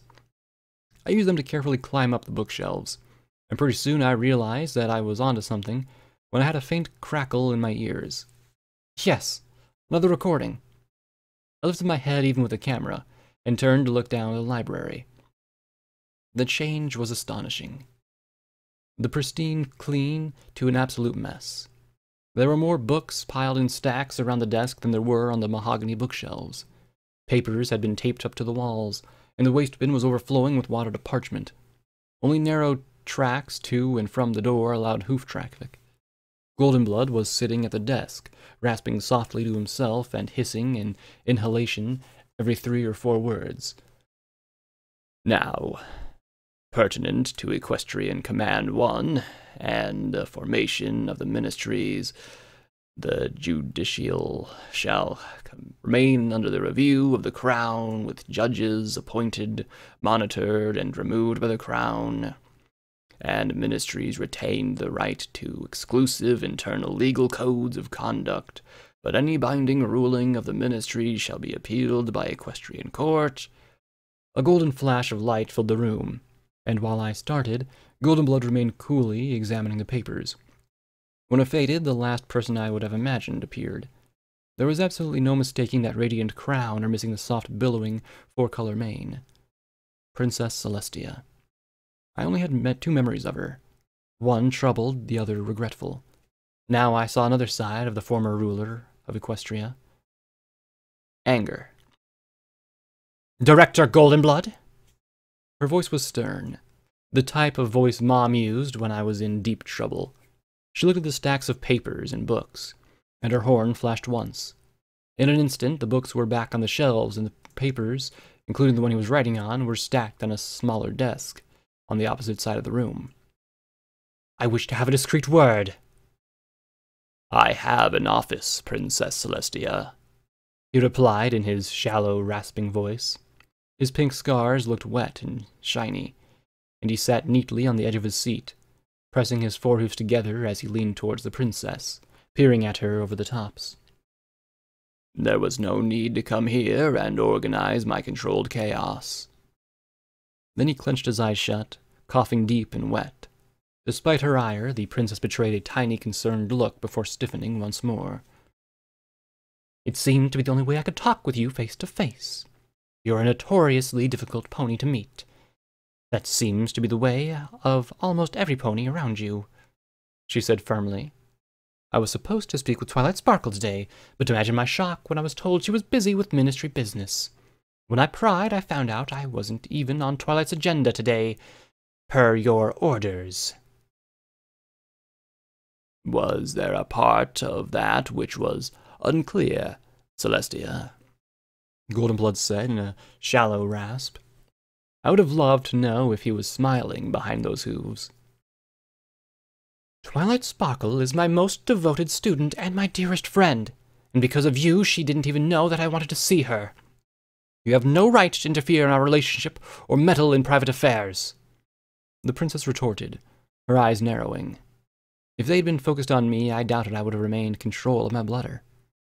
But Goldenblood looked back with something bordering on contempt. Ah, I'm afraid that that is where you are mistaken, he replied calmly, his wet, raspy voice turning sharper. Twilight Sparkle isn't your student anymore, Celestia. Now she's Luna's ministry mare. She has a job to do winning a war. Her time is literally priceless, and I take great pains to manage it and her to be as efficient as possible. Twilight Sparkle isn't your subordinate, Director, Celestia retorted. Goldenblood didn't respond, and for an instant, doubt flickered in her eyes. His remained as steady as steel. If you have problems with how I execute my duties, take them up with your sister. I'm sure that she'll be happy to spare you some time, Celestia. I realized suddenly that he hadn't been calling her princess anymore. He looked at the stacks of papers, magically flipped through them, and then stopped and yanked one free. I'm sure that Princess Luna would be overjoyed to hear your concerns about the. He glanced back at the paper once more. Diamond Dog relocation. Those are intelligent, thinking, feeling people. They may not be ponies, but it's not right to simply take their land because we need it. She trot right up to the desk, then sat down and glared at him, reinforcing the fact that alicorns were frickin' huge.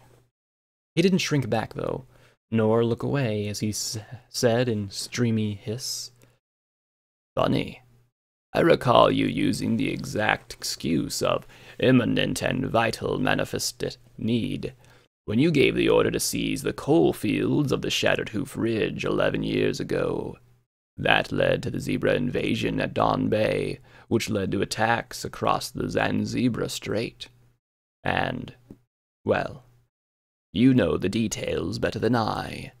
But then Twilight gives the identical order to seal Splendid Valley, and it's wrong. He tossed the paper to the desk. It was wrong twelve years ago, and it's wrong now, Celestia countered, looking anguished. Don't let Twilight make the same mistake I did. Please, let me speak with her. Goldenblood frowned as he lifted the paper again. I'm afraid that's not possible, Celestia. Twilight needs the gems, caverns, and security to test hazardous spells and talismans. The MAS nearly burned down the Manhattan hub testing incineration spells, as you may recall, and given all the zebra infiltrators and sympathizers we dug out in the last two years. He sighed and shook his head.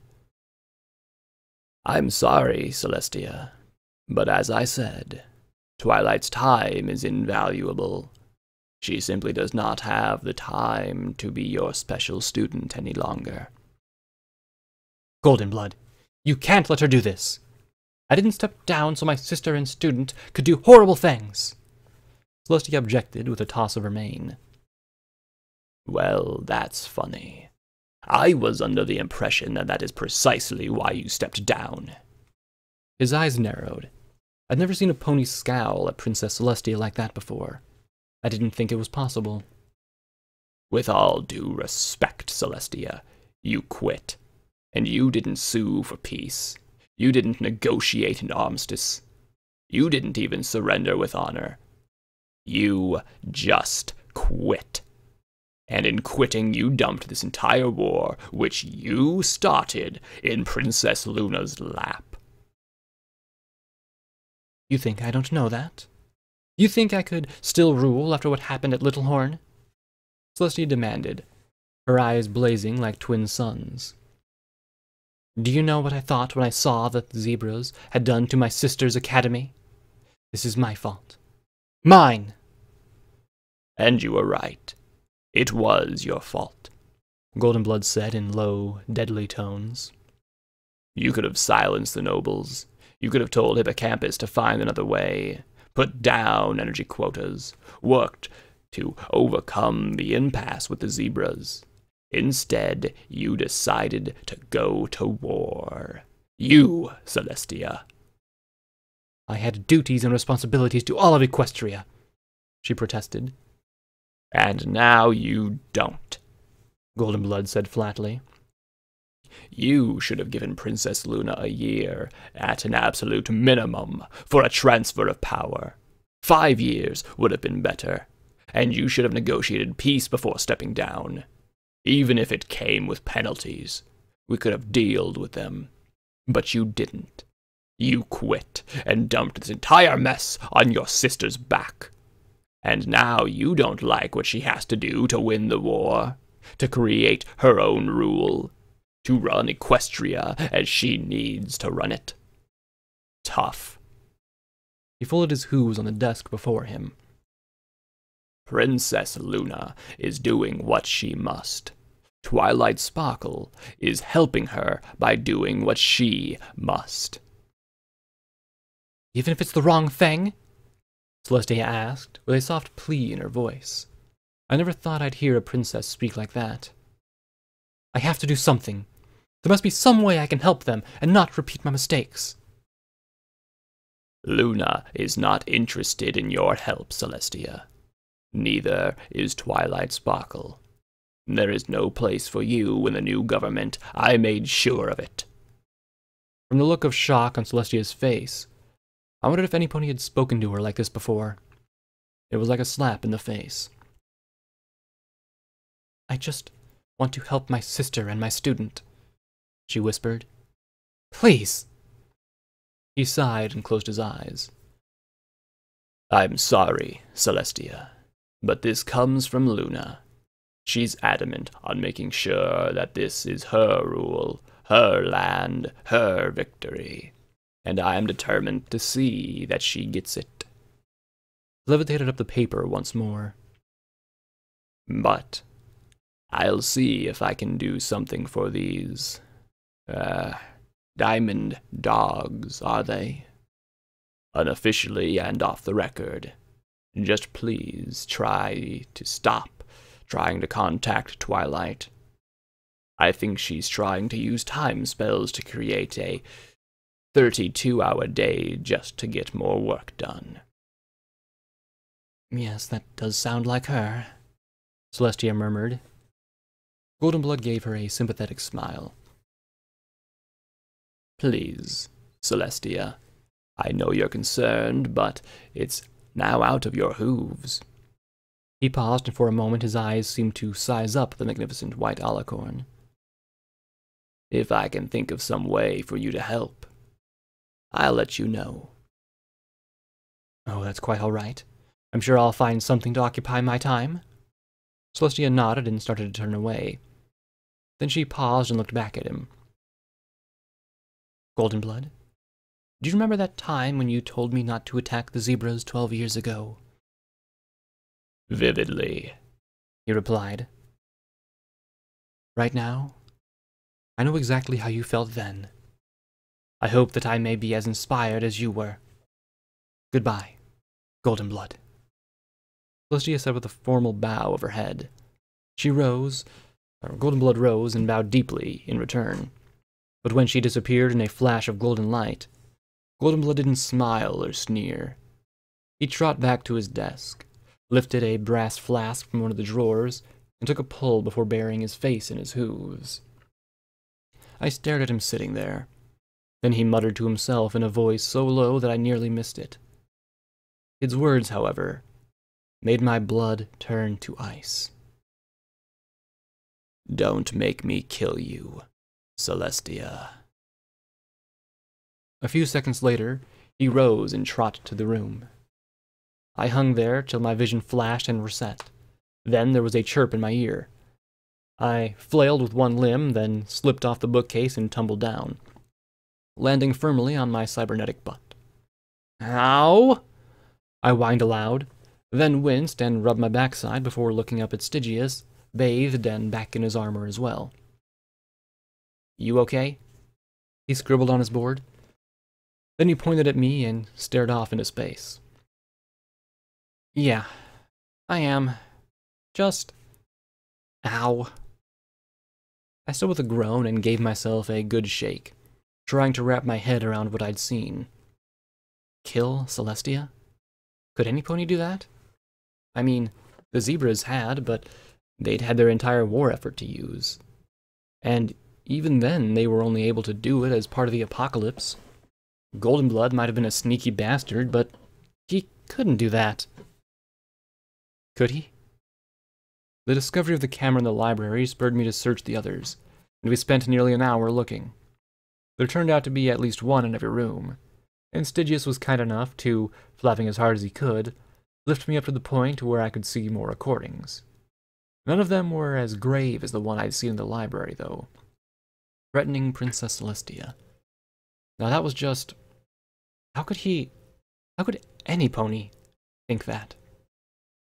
The majority of the recordings, in fact, were not just not as grave, but fairly odd and often boring.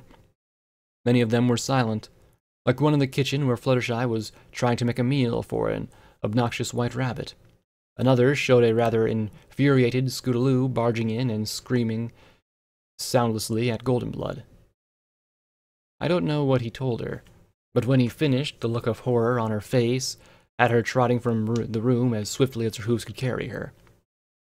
Others had sound but didn't seem terribly important. There was one of the guest room where Goldenblood waxed on about the Moonstone acquisition uh, for his collection to a vaguely familiar looking unicorn and Pegasus, close enough in appearance that they could have been siblings. They teased him about abusing his authority for a rock.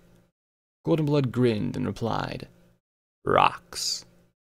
And the recording ended with him telling them to take care of Pinkie Pie. Another had it of him complaining to Horse about the ugliness of the core. The yellow pony laughed about how functionality took priority over aesthetics.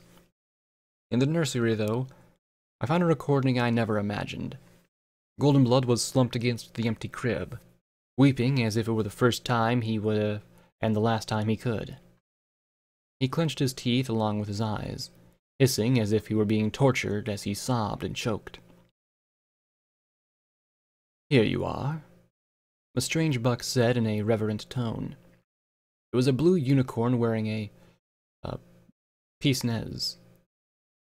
His mane was a luxurious silver white, and on his flank was a model of an atom, like the drawings I'd seen in textbooks. It's been three days.